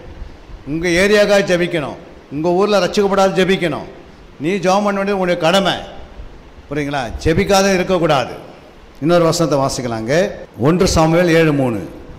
அப்பொழுது சாமுவேல் ம். இஸ்ரவேல் குடும்பத்தார் யாவரையும் நோக்கி நீங்கள் உங்கள் முழு இருதயத்தோடும் கர்த்தரிடத்தில் திரும்புகிறவர்கள் ஆனால் அந்நிய தேவர்களையும் அஸ்தரோத்தையும் உங்கள் நடுவிலிருந்து விலக்கி உங்கள் இருதயத்தை கர்த்தருக்கு நேராக்கி அவர் ஒருவருக்கே ஆராதனை செய்யுங்கள். அப்பொழுது அவர் உங்களை பெலிஸ்தருடைய கைக்கு நீங்களாக்கி விடுவார் என்றான். அப்ப என்ன செய்யற ஆண்டவரே அப்போது சாமுவேல் இஸ்ரவேல் குடும்பத்தார் யாவரை நோக்கி நீங்கள் உங்கள் முழு இருதயத்தோடும் கத்தடத்தில் திரும்புகிறவளானால் அந்நிய தேவர்களையும் அஸ்தோரத்தையும் உங்கள் நடுவிலிருந்து விலக்கி உங்கள் இருதயத்தை கத்தருக்கு நேராக்கணும். நம்முடைய இருதயத்தை ஆயத்தப்படுத்தி நேராக்கணும் அப்படின்னு யார் சொன்னது? ஃபஸ்ட்டு யோபு சொன்னார். அப்போ ஒவ்வொரும் ஒவ்வொரு மெத்தடாக ஜெபம் பண்ணுறாங்க அப்போ இருதயத்தை என்ன செய்யணும்? பரிசுத்தப்படுத்தி ஆயத்தப்படுத்தி நம்ம நேராக கத்தருக்கு நம்முடைய கரங்களை நீட்டி நம்ம ஜெபம் பண்ணோம்னா கத்தனை செய்வார்? ஒரு பெரிய விடுதலை தருவார். அல்லையா நம்ம ஜெபம் பண்ணுறதுக்கு யோசிக்கக்கூடாது. நமக்காக நம்ம ஜெபம் பண்ண உட்காந்துக்கூடாது புரியுங்களா நீங்கள் தேவனுடைய பிள்ளைகள் இருக்கிறீங்க. மற்றவங்களுக்காக ரட்சிக்கப்படாதவங்களுக்காக நம்மளை ஆண்டவனாக வச்சுருக்கிறாரு. ஒரு ஆசாரிகளை வச்சுருக்கிறாரு. இயேசு பிரதான ஆசாரியர். எவரை ஏழு இருபத்தஞ்சு வாசிக்கும் போது வாசித்து பாருங்கள் ஏழு எவரை ஏழு இருபத்தைந்து? மேலும் தமது மூலமாய் தேவனிடத்தில் சேர்கிறவர்களுக்காக. வேண்டுதல் செய்யும்படிக்கு அவர் எப்பொழுதும் உயிரோடு இருக்கிறவர். ஆகையால் அவர்களை முற்றுமுடிய ரட்சிக்க வல்லவருமாய் இருக்கிறார். பாரு என்ன செய்கிறார் ஆண்டவரே? முற்றுமுடிய நம்மளை ரட்சிக்கும்படியாக மகா பிரதான ஆசாரியராக என்ன பண்றாரு? பிதாவின் வலது பக்கத்தில் என்ன செய்றாரு? நமக்காக பரிந்து பேசுகிறாரு ஜெபிக்கிறாரு. நம்ம முற்றுமுடிய ரட்சிக்க நம்ம ரட்சிக்கப்பட்ட பிறகு அவர் நமக்காக என்ன பண்ணுறாரு தொடர்ந்து ஜெபம் இருப்பார். ஏன்னா நம்ம பிசைக்கு போயிடக்கூடாது. புரியுங்களா? நம்ம நழுவி போயிடக்கூடாது. தேவனை விட்டு விலகிடக்கூடாது. புரியுங்களா? ஏதோ ரட்சிக்கப்பட்டோம். இனிமேல் என்ன ஆக போகுது? அப்படி இல்லை. நம்ம சத்தியத்தை அறிகிற அறிவில் போனால் தான் இதெல்லாம் கண்ணுக்கு தெரியும். நமக்காக இயேசு ஜெபம் பண்ணுறாரு நம்ம யாருக்காக ஜெபம் பண்ணோம்? புரியுங்களா? நம்ம மற்றவங்களுக்காக ஜெபம் பண்ணோம்.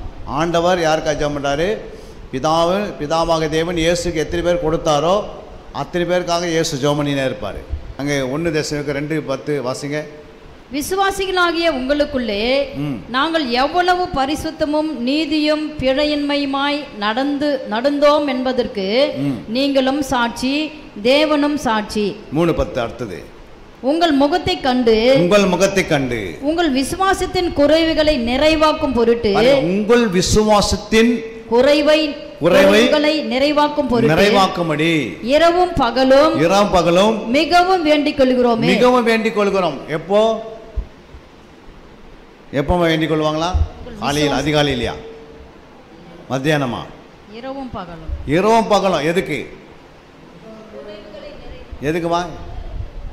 உங்கள் விசுவாசம் குறைவாக இருக்கிறதுனால அது நிறைவாக மாற்றணும். அதாவது விசுவாசம் அந்த பாத்திரம் நிரம்பி வடையணும். சும்மா கொஞ்சம் விசுவாசி வச்சு என்ன பண்ண முடியாது? சின்ன சின்ன ஜெபம் பண்ணியிருந்தனா கொஞ்சம் ஜெபம் கொஞ்சம் தான் விசுவாசம் இருக்கும். கொஞ்சம் வியாதி வந்த பிறகு புரியுங்களா? போமா போவாதா? இருக்குமா இருக்காதா? டவுட் சந்தேகம் வந்துடும் ஆனால் நிறைவான விசுவாசம் வந்துச்சுன்னா அது போன போயிடும். அதுக்கப்புறம் என்ன பண்ண தேவையில்ல அதை? தானாக ஓட ஆரம்பிச்சிடும் நிறைவான விசுவாசம் வரும்போது. இப்போ நிறைவான விசுவாசம் வரணும்னா என்ன செய்யணுமா? இரவும் பகலும் என்ன பண்ணணும்? வேண்டுதல் செய்யணும். அவங்க பாருங்கள் இரவும் பகலும். இரவும் பகலை நீங்கள் வச்சு ஜெபம் பண்ணால் தான் விசுவாசம் நிறைய பெற்றுக்கலீங்க இப்போ இந்த வசனம் எத்தனை பேருக்கு தெரியும் தெரியாது யோசித்து பாருங்கள் தெரியுமா? நிறைய பேருக்கு. ஒரு விசுவாசம் நிறைவாகிறதுக்கு இரவும் பகலும் ஜெபம் பண்ண சொன்னால் யாரும் என்ன பண்ண மாட்டாங்க? வர மாட்டாங்க எங்களுக்கு தெரியும் எதுக்குன்னு இது. இந்த சார்ஜ் இந்த முறை ஜெபம் பண்ணி சார்ஜ் ஆயிடுச்சுன்னா இன்னும் ஒரு அஞ்சு வருஷம் என்ன பண்ண முடியும்? நல்லா பலனோடு ஓட முடியும். எக்ஸ்ட்ரா நமக்கு பூஸ்ட் கிடைக்க ஆரம்பிச்சிருது. புரியுங்களா கத்தோடைய வல்லமை நம்ம மேலே இறங்க ஆரம்பிச்சிடும் அதனால தான் நீங்கள் இரவில் வரணும். எல்லாருமே அபிஷேகம் இறங்கும். அபிஷேகம் இல்லாமல் நம்ம உட்கார முடியாது. ஜெபிப்பதுக்காவது உட்கார தேவ சமத்தில் வந்து உட்காருவது கூட அபிஷேகம் வேணும். சும்மாலாம் உட்கார முடியாது. புரியுங்களா வந்த பிறகு எண்ணங்கள்லாம் சிதறும். அப்படி ஏன்ச்சு நம்ம வீட்டுக்கு ஓடிடுவோம். அதுக்காக நீ ஜோம் பண்ணி நான் இரவு பகல் உட்காரணும் ஆண்டவரே அப்படின்னு நீங்கள் கேட்டிங்கன்னா கத்தர் கொடுப்பார். எல்லாவற்றுக்கும் அபிஷேகம் இருக்கிறது. புரியுங்களா? அப்போ இரவு பகலுக்கு இவங்க ஏன் ஜெபிக்கணும்? யோசித்து பாருங்கள் சும்மா இருக்கலாம்ல விசுவாசம். இந்த இரவு விசுவாசம் இல்லாதனால தான் அவங்க எல்லாம் எங்கே போனாங்க? காணாந்த தேசத்துக்குள்ளே நுழைய முடியல. இப்போ விசுவாசம் எவ்வளோ பெரியது? புரியுங்களா? விசுவாசம் மிக முக்கியம். உன் விசுவாசம் ஒடிந்து போகாதபடி உனக்காக என்ன பண்ண போகிறேன் நான் வேண்டுதல் செய்கிறேன் என்றார் அப்போ விசுவாசத்திற்கு வேண்டுதல் மிக அவசியம். ஜெபம் மிக அவசியம். விண்ணப்பம் மிக அவசியம். வேண்டுதல் மிக அவசியம். மன்றாடு மிக அவசியம். தேசத்துக்காக கதற வேண்டியது அவசியம். ஒரு வார்த்தை சொல்லி நாம் ஜெபம் பண்ணுவது அவசியம். இருபத்தி நாலு மணி நேரம் நம்ம தேவ சமூகத்தில் உட்கார இருக்கிறோம். ஜெபிக்க வேண்டியது அவசியம். புரியுங்களா? இரவெல்லாம் தூங்கலை. பகலெல்லாம் நான் பத்து நிற்பேன் அப்படின்னா தூங்கி தான் இருக்கணும். இல்லை? நம்ம பகலெல்லாம் ஜெபிக்கணும்னு அந்த எண்ணம் வந்துச்சுனாவே கத்தை நம்ம என்ன பண்ணுறாரு மறுபடியும் கட்டி எடுப்புறாரு இப்போ ஒரு நாள் ஆண்டு கைவிட மாட்டார். கத்த கூட இருந்து இந்த வேலையை செய்வார். நீ தேவ சமுதிரம் உட்கார உட்கார உட்கார உன்னை கத்தர் உருவாக்குவார். உன் தேவன் உனக்கு ஒரு வல்லமை ஊற்றுவார். உனக்கு மேல் அபிஷேகத்தை தருவார். இன்னொரு வசனத்தை வாசிக்கலாம். சங்கீதம் நூற்றி நாற்பத்தி மூன்று ஆறு. என் கைகளை உமக்கு நேராக விரிக்கிறேன். ம். வறண்ட நிலத்தைப் போல் என் ஆத்துமா உம்மேல் தாகமாய் இருக்கிறது. ம். கர்த்தாவே சீக்கிரமாய் எனக்கு செவி கொடும் என் ஆவி தொய்ந்து போகிறது. நான் குழியில் இறங்குகிறவளுக்கு ஒப்பாகாதபடிக்கு உமது முகத்தை எனக்கு மறையாதேயும். பாருங்க என் கைகளை உமக்கு நேராக வெறிக்கிறேன். வறண்ட நிலத்தை போல என் ஆத்மா உன் மேல் தாகமாக இருக்கிறது. நம்முடைய ஆத்தம் அடிக்குது இப்போ? ஒரு வறண்ட ஆத்மா மேலே இருக்கும் உங்களுது வரும்போது. இங்கே வரும்போது இந்த ஆத்மாவில் பலவீனமாக வந்திருப்பீங்க. ஐயோ சோர்ந்து போய் வந்திருப்பீங்க. சில நேரத்தில் கஷ்டத்தோடு வந்திருப்பீங்க. சிலர் நேரத்தில் அடித்தான்னு அடிச்சான்னு சொல்லிட்டு வந்து உட்காந்துருப்பீங்க இங்கே. அல்லையா அப்புறம் இங்கேருந்து போனால் புஸ்தகாரட்டி எப்படியா போய் கண்ணை பார்க்கறது? உன்னர் அடி வாங்கிறதுக்கு ஆயத்தமாக்கிறதுக்கு பயம் திகில் வந்திருப்பீங்க. குடும்பத்தில் பக்கத்து வீட்டில் சண்டத்தில் வந்திருப்பீங்க. ஆனால் ஆண்ட சொல்கிறாரு என் ஆத்துமா தாவித என்ன சொல்கிறாரு வறண்ட நிலத்தை போல் என் ஆத்துமா மேல் தாகமாக இருக்கிறது. சேலா. சேலானா என்ன? மறுபடியும் வாசி. மறுபடியும் அதை என்ன பண்ணோம்? இன்னொரு முறை வாசி என் கையில் உமக்கு நேராக விரிக்கிறேன். வறண்ட நிலத்தை போல் என் ஆத்மாவும் மேல் தாகமாக இருக்கிறது. கர்த்தாவே சீக்கிரமாக எனக்கு செவி கொடும். என் ஆவி தொய்ந்து போகிறது. நான் குழியில் இறங்குறவர்களுக்கு ஒப்பாகாதபடிக்கு உமது முகத்தை எனக்கு மரியாதையும். அதிகாலையில் உமது கிருபையை கேட்க பண்ணும் உம்மை நம்பி இருக்கிறேன். நான் நடக்க வேண்டிய வழியை எனக்கு காண்பியும். உம்மிடத்தில் என் ஆத்மாவை உயர்த்துகிறேன் என்று ஜெபம் பண்ணுறாரு அப்படி நம்ம வந்து ஜெபம் பண்ணும்போது ஆண்டவர் என்ன செய்யற நம்முடைய ஆத்மாவை பலப்படுத்துகிறாரு உன் ஆத்மா வாழுகிறது போல நீ எல்லாவற்றையும் வாழ்ந்து சுகமாயிரு அப்படின்னு ஆண்டு சொல்கிறாரு அப்போது நீ ஆத்மாவை உன்னை பலப்படுத்துக்கு உனக்கு ஆண்டு ரெடியாக இருக்கிறாரு. புரியுங்களா ஏதோ நம்ம நடக்கக்கூடாது. நம்ம ஏதோ நடக்குது அப்படின்னு நீங்கள் வரல. ஒரு ஜெபம் நடக்கிறது அந்த ஜெபத்தில் நம்ம தமிழ்நாட்டுக்கு ஒரு எழுப்புதல் வரும். இந்திய தேசத்துக்கு வரும். நம்மளால் முடிஞ்ச வரைக்கும் நம்முடைய தமிழ்நாட்டுக்காக நாம் ஜெபிக்கிறோம். மக்களுக்காக செபிக்கிறோம். போதகர்களுக்காக செபிக்கிறோம். நைட்டு பாருங்கள் ஊழியர்களுக்காக ஜெபித்தோம் விசுவாசிகளுக்காக ஜெபித்தோம் நம்முடைய தமிழ்நாட்டில் இருக்கிற ஊழியர்களுக்காக ஜெபித்தோம் இந்தியா தேசத்தில் ஊழியர்களுக்காக ஜெபித்தோம் நூற்றி ஐம்பத்தி ஏழு பேர் செத்துருக்குறாங்க. யோசித்து பாருங்கள் நூற்றி ஐம்பத்தி ஏழு ஊழியர்கள் செத்துருக்குறாங்க அந்த ஊரடங்கில். யோசித்து பாருங்கள் சத்துரு தந்திரமாக கிரியை செய்வான். ஆண்டவரே நீ வந்துட வந்துடு எல்லாரும் கூப்பிட்றதில்ல. இருந்தாலும் சத்துரு விதைப்பான்ல. நம்ம தானே எப்படி இருக்கணும்? ஜெபத்தில் இருக்கணும். ஜெபத்தில் தரித்து இருக்கணும். விடக்கூடாது. புரியுங்களா சோர்வு இடம் கொடுக்கக்கூடாது. சந்தேகத்துக்கு இடம் கொடுக்கக்கூடாது. பயத்துக்கு இடம் கொடுக்கக்கூடாது. தேவ பாதத்தில் உட்காந்து சோத்திரம் பண்ணினே இருந்தீங்கன்னா உன்னை பலப்படுத்துவார் ஆண்டவர். புரியுதுங்களா?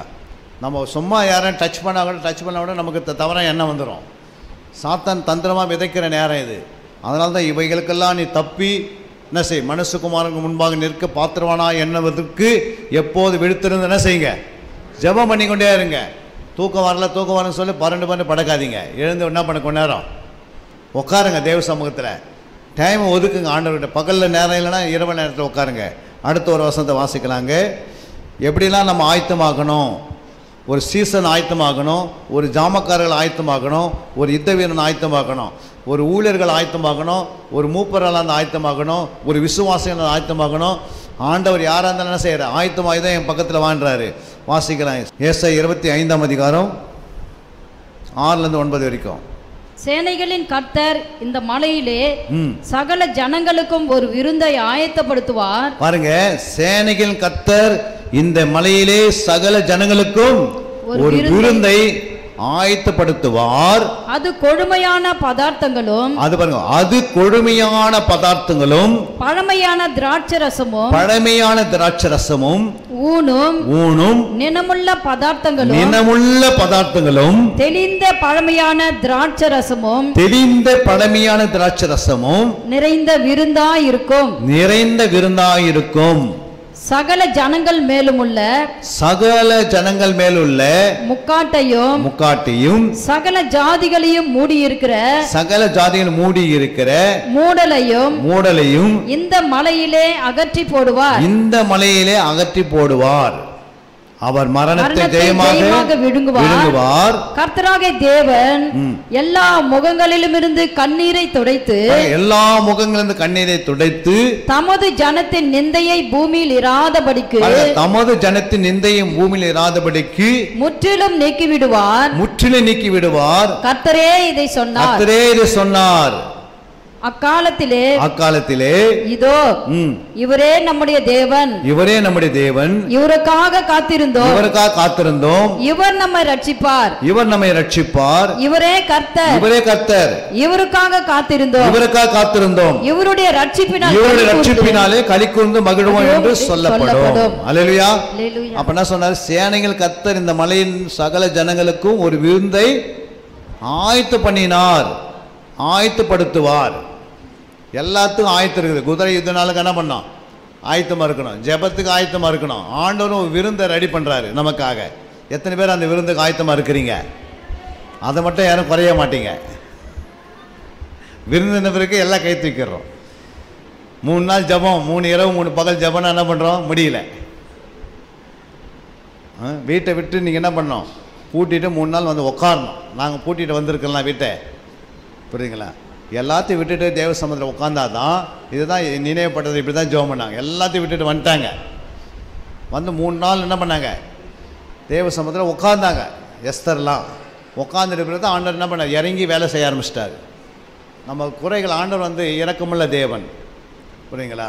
அவர் மனஸ்தாப்படுகிறவர் புரியுங்களா? அவர் உருக்கமுள்ள தேவன்.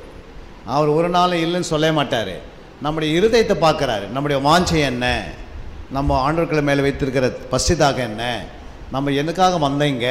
அவருக்கு எல்லாமே தெரியும். புரியுங்களா நம்முடைய நினைவுகள் தெரியும்.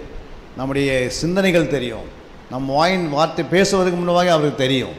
புரியுங்களா ஏதோ சொல்லிட்டு வந்தார் இயேசு உலகத்துக்கு? நான் வரப்பாருங்க அப்படின்னு எல்லாருக்கும் அலவன்ஸ் பண்ணாரா? இல்லை. புரியுங்களா எத்தனோ ஆயிரம் வருஷத்துக்கு முன்னாடி ஆதியம் ஒன்றாம் அதிகாரத்தில் உன் வித்துக்கும் அவள் வித்துக்கும் பகை உண்டாக்குவேன். அவரும் தலையை நசுக்குவாருன்னு சொல்லி இயேசு எங்கே வந்துட்டார்? ஆதியம் ஒன்றாம் அதிகாரத்தில் உள்ளே வராரு. வந்தாரே இல்லையா? வந்தவர் தெரிஞ்சிச்சு அவர் எப்போ வர போகிறாருன்னு பின்னாடி பின்னாடி தீர்க்கதரிசனம் உரைக்கப்பட்டது. அவர் கரெக்டான நேரத்தில் வந்தார். ஆனால் வந்தவர் வீட்டுக்கு வந்தவர் என்ன பண்ணாங்க அவர்? வீட்டில் இருக்கிறவங்க அறியாது போயிட்டாங்க. தூரத்துலேருந்து அறிஞ்சிக்கினாங்க வீட்டு உழுக்கிறவர் என்ன பண்ணிட்டாங்க? மறைஞ்சிட்டாங்க. அல்லையா அப்போ தேவன் என்ன சொல்கிறாரு நம்மை ஆயத்தப்படுத்த போகிறார். ஒரு விருந்து ஆயத்தமாக இருக்கிறது அது குளுமையான பதார்த்தங்களும் பழமையான திராட்சை ரசமும் ஊனமும் நினைமுள்ள பதார்த்தங்களும் தெளிந்த பழமையான திராட்சை ரசம் நிறைந்த விருந்தாக இருக்கும் ஒரு நல்ல விருந்தை தேவன் நமக்காக என்ன பண்ணுறாரு ஆயத்தப்படுத்துகிறார் எத்தனை பேர் சந்தோஷமாக இருக்கிறது? கரலை தட்டி தேவநாமத்தை அமைக்கப்படுத்தலாம் நல்ல நல்ல ஆண்டவருடைய சமூகத்தில் உட்கார்ந்துருக்கிறோம். அவருக்காக நல்ல கரங்களை தட்டி ஒரு மூன்று அலையில சொல்லுங்க பார்க்கலாம். அலேலுயா அலேலுயா அலேலுயா யாத்திராக முப்பத்தி நாலு ரெண்டு விடியற்காலத்தில் நீ ஆயத்தமாகி ம். சீனாய் மலையில் ஏறி அங்கே மலையின் உச்சியில் காலமே என் சமூகத்தில் வந்து நில். பாருங்க விடியற் காலத்து நீ ஆயத்தமாகி சீனாய் மலையில் ஏறி அங்கே அங்கே மலையின் மலையின் உச்சியில் காலமே என் சமூகத்தில் வந்து நில். அப்போ என்ன சொல்றார் ஆண்டவரே? ஃபஸ்ட்டு ஆயத்தமாகணும். இதை தான் ஆயத்தத்தை குறித்து தான் நாம் பேசி கொண்டு வந்திருக்கிறோம். அப்போ மோஸ் என்ன பண்ணுறாரு சரியாக நேரத்தில் ஆயத்தமானார் ஏறினார். காலமே என்ன பண்ணார்? தேவசம்பத்தில் போய் வந்து நின்றாரு. அல்லையா உன்னோடு ஒருவனும் அங்கே வரக்கூடாது. இதை சொல்கிறார் ஆண்டவர். மலைகள் எங்கும் ஒருவனும் காணப்படக்கூடாது. இந்த மலையின் சமீபத்தில் ஆடு மாடு மேயும் கூடாது என்றார். இதெல்லாம் வந்து ஆண்டவர் செய்கிறாரு ஆண்டவர் இறங்க போகிறாரு. மோசையை பார்க்க மோசைகிட்ட வரும்போது என்னென்ன இருக்கக்கூடாது கூட யாரும் வரக்கூடாது. அல்லையா அப்போது மோசே முந்தின கற்பலைகளுக்கு சொல்லுங்க ஒத்த இரண்டு கற்பலைகளை இடை இடைத்து அதிகாலமே எழுந்திருந்து கத்த தனக்கு கட்டளையிட்டபடியே அவ் இரண்டு கற்பலைகளையும் தன் கையிலே எடுத்துக்கொண்டு எடுத்துக்கொண்டு சீனாய் சீனா மலையில் மலையில் ஏறினார். கத்தர் மேகத்தில் இறங்கி அங்கே அவன் அருகே நின்று கர்த்தருடைய நாமத்தை கூறினார். அல்லையா கர்த்தர் அவனுக்கு முன்பாக கடந்து போகும்போது அவர் கர்த்தர் கர்த்தர் இரக்கமும் கிருபையும் நீடிய சாந்தமும் மகா தயவும் சத்தியமுள்ள தேவன். எத்தனை பேர் பாருங்க ஆயிரம் தலைமுறைக்கு இரக்கத்தை காக்கிறவர். எத்தனை தலைமுறை? ஆயிரம் தலைமுறை இரக்கத்தை காக்கிறவர். அக்கிரமத்தையும் மீறுதலையும் பாவத்தையும் மன்னிக்கிறவர். குற்றவாளியை குற்றவாளமாக விடாமல் பிதாக்கள் செய்த அக்கிரமத்தை பிள்ளைகளிடத்தில் பிள்ளைகளுடைய பிள்ளைகளிடத்திலும் மூன்றாம் நான்காம் தலைமுறை மட்டும் விசாரிக்கிறார் என்று கூறினார். அல்லேலூயா. மோச தீவிரமாக தரைமட்ட குனிந்து பணிந்து கொண்டு ஆண்டவரை தொழுது கொண்டான். கரங்களை வற்று ஒரு கரங்களை தட்டி தேவநாமத்தை மயங்கப்படுத்துங்க நம்முடைய ஆண்டவர் யாரு? இறக்கம் உறக்கம் தயவு மனத்தாண்மை உள்ளவர் எல்லாத்தையும் சொல்லப்பட்டிருக்கிறது. புரியுங்களா? அவர் பாருங்க எப்படி கூப்பிட்டு அப்போ மோசைவை கூப்பிட்டு செய்கிறாருன்னா இயேசு நமக்காக எவ்வளோ செய்திருக்கிறார். அல்லேலூயா யோசித்து பாருங்க ஆண்டவர் நமக்காக எல்லாவற்றையும் செய்து முடிச்சிருக்கிறார். நம்ம தான் என்ன செய்யணும்? அவருக்காக எழும்பணும். எஸ்தர் ஏழாம் அதிகாரம் பத்தாம் வசனத்தை வாசிக்கலாம். அப்படியே ஆமான். மொர்தெகாய்க்கு ஆயத்தம் பண்ணின தூக்கு மரத்தில் ஆமானையே தூக்கி போட்டார்கள். அப்பொழுது ராஜாவின் உக்கிரம் தணிந்தது. பாருங்க அப்போது ஆமான் மொர்த்தகாய்க்கு ஆயத்து பண்ணின தூக்கு மரத்தில் ஆமானியே தூக்கி போட்டார். அப்போது ராஜாவின் உக்கிரம் தணிந்தது. யோசித்து பாருங்க நம்ம கூட யாரோ தூக்க மாட்டலான்னு ரெடியாக வச்சுருப்பாங்க. ஆனால் அது அவங்களுக்கு தான் செய்து வச்சுக்கிறான்னு அவங்களுக்கு தெரியாது. சத்துரே அதில் போய் விழுந்துடுறான் பாருங்க. மொத்த காய்க்காக போக போடப்பட்ட அந்த தூக்கு மரத்தை யாருக்காக பயன்படுத்தினார் ஆண்டவரே? ஆமானுக்கே பயன்படுத்திட்டார். நமக்கு விரோதமாக யாராவது எழுமினார் தேவன் பட்சத்தில் வருவார். உங்களுக்கு விரோதமாக யாராவது எதாவது சொல்லி உங்களை பலவீனப்படுத்தா கத்தர் வருவார். புரியுங்களா? உன்னை தொடுகிறவன் என் கண்மணியை தொடுகிறவன். அப்போ ஆண்டவர் நிச்சயமாக உனக்காக எழுப்பி வருவார். அவர் வந்து உன் தேவைகளை சந்திப்பார். உன் கத்த உன் தேவைகளை சந்தித்து நிறைவேற்றுவார். உன் கண்ணீரை துடைப்பார். புரியுங்களா? உன் இருதயத்தினுடைய கர்ப்ப வேதனை என்னன்னு தெரியும் ஆண்டவருக்கு. உன் குறைகள் என்னன்னு தெரியும்.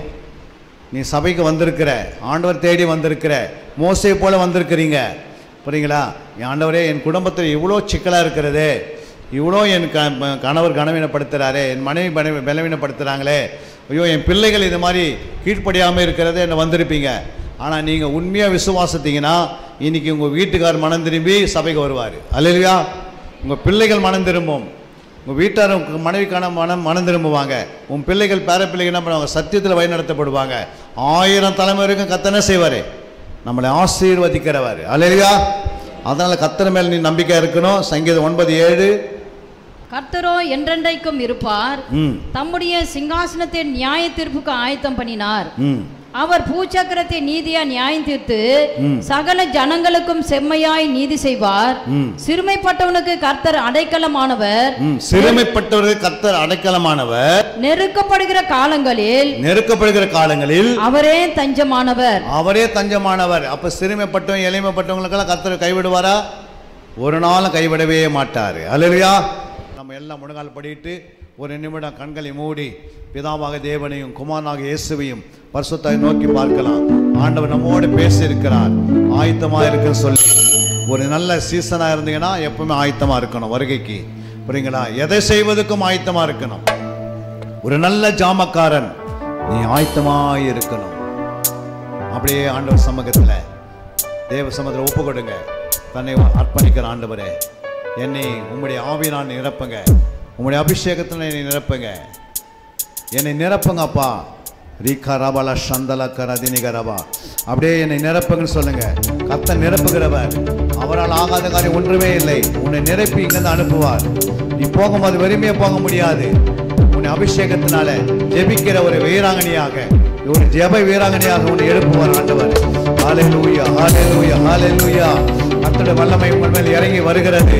சோத்திரம் ஆண்டவரே சோத்திரம் சோத்திரம் சோத்திரம். உம்மை துதிக்கிறோம் அப்பா உம்மை துதிக்கிறோம். நீ நல்லவர் வல்லவர் அதிசயமுள்ளவர் ஆண்டவரே. இதுவரைக்கும் செய்த எல்லா நன்மைகளுக்கு நன்றி நன்றி நன்றி அப்பா. ஹalleluya ஹalleluya ஹalleluya ஹalleluya. கர்த்தர் நம்மை நிரப்பி நீங்கள் போகும்போது ஒரு அபிஷேகத்தை நிரம்பி போகணும். ஆலையில உங்களை வெறுமையான பாத்திரம் விடப்பட்டார் மாட்டார் ஆண்டவர். ஹalleluya ஹalleluya ஹalleluya. நிரப்புங்கப்பா நிரப்புங்கப்பா. என் பாத்திரத்தை தண்ணீராலே நிரப்புங்கப்பா. நிரப்புங்கப்பா நிரப்புங்கப்பா. என் பாத்திரத்தை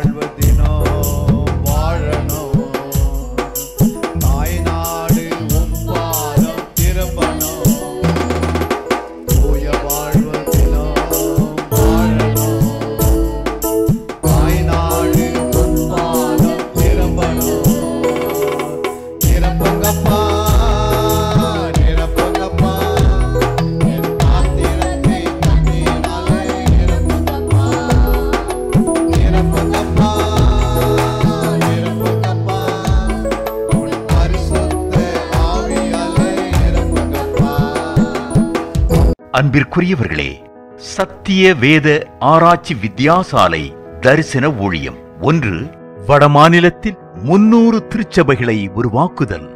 இரண்டு மாதம் ஒருமுறை எழுப்புதல் உருவாக்கும் எழுப்புதல் கூட்டம். மூன்று ஊழியர்கள் சபை தலைவர்கள் சுவிசேஷர்களுக்கென கருத்தரங்கு அதாவது சத்திய வேத ஆராய்ச்சி நேரம். நான்கு டிவி ஊழியம் ஐந்து பத்திரிகை ஊழியம். ஆறு சிடி டிவிடி ஊழியம். ஏழு பவர் கேம்ப் அக்னி அபிஷேக முகாம் எட்டு உபதேச ஆராய்ச்சி கருத்தரங்கு ஊழியம் ஒன்பது நலிந்த குழந்தைகள் இல்லம் பத்து இருபத்தி நான்கு மணி நேர ஜப மையம் பதினொன்று சத்திய தேவ ஆராய்ச்சி கல்லூரி பனிரெண்டு சிறுவர்கள் உருவாக்கும் ஊழியம் பதிமூன்று மருத்துவ முகாம் பதினான்கு ஜெயில் ஊழியம் பதினைந்து கைப்பிரதி ஊழியம் பதினாறு கிராம ஊழியம் பதினேழு மிஷனரியை உருவாக்கும் ஊழியம் பதினெட்டு நன்றி துதி ஆராதனை கூட்டங்கள் பத்தொன்பது சமூக நலப்பணிகள் ஊழியம் இருபது இன்டர்நெட் மூலமாக ஆன்லைன் படிப்புகள். இது விரைவில் வரவிருக்கின்றது. இருபத்தி ஒன்று தேவனுடைய வருகைக்கு ஆயத்தப்படுத்துதல். இதனுடைய நோக்கங்கள் ஒரு கோடி சீடர்கள் உருவாகுதல் ஒரு கோடி ஜாமக்காரர்கள் உருவாகுதல். ஒரு கோடி யுத்த வீரர்கள் உருவாகுதல் ஒரு கோடி ஊழியர்கள் உருவாகுதல். தரிசனத்தை அவன் கண்டபோது அவர்களுக்கு சுவிசேஷத்தை அறிவிக்கும்படி கர்த்தர் எங்களை அழைத்தார். புறப்பட்டு போக பிரயத்தனம் பண்ணி அப்போஸ்தலர் நடபடிகள் பதினாறு பத்து. சத்தியவே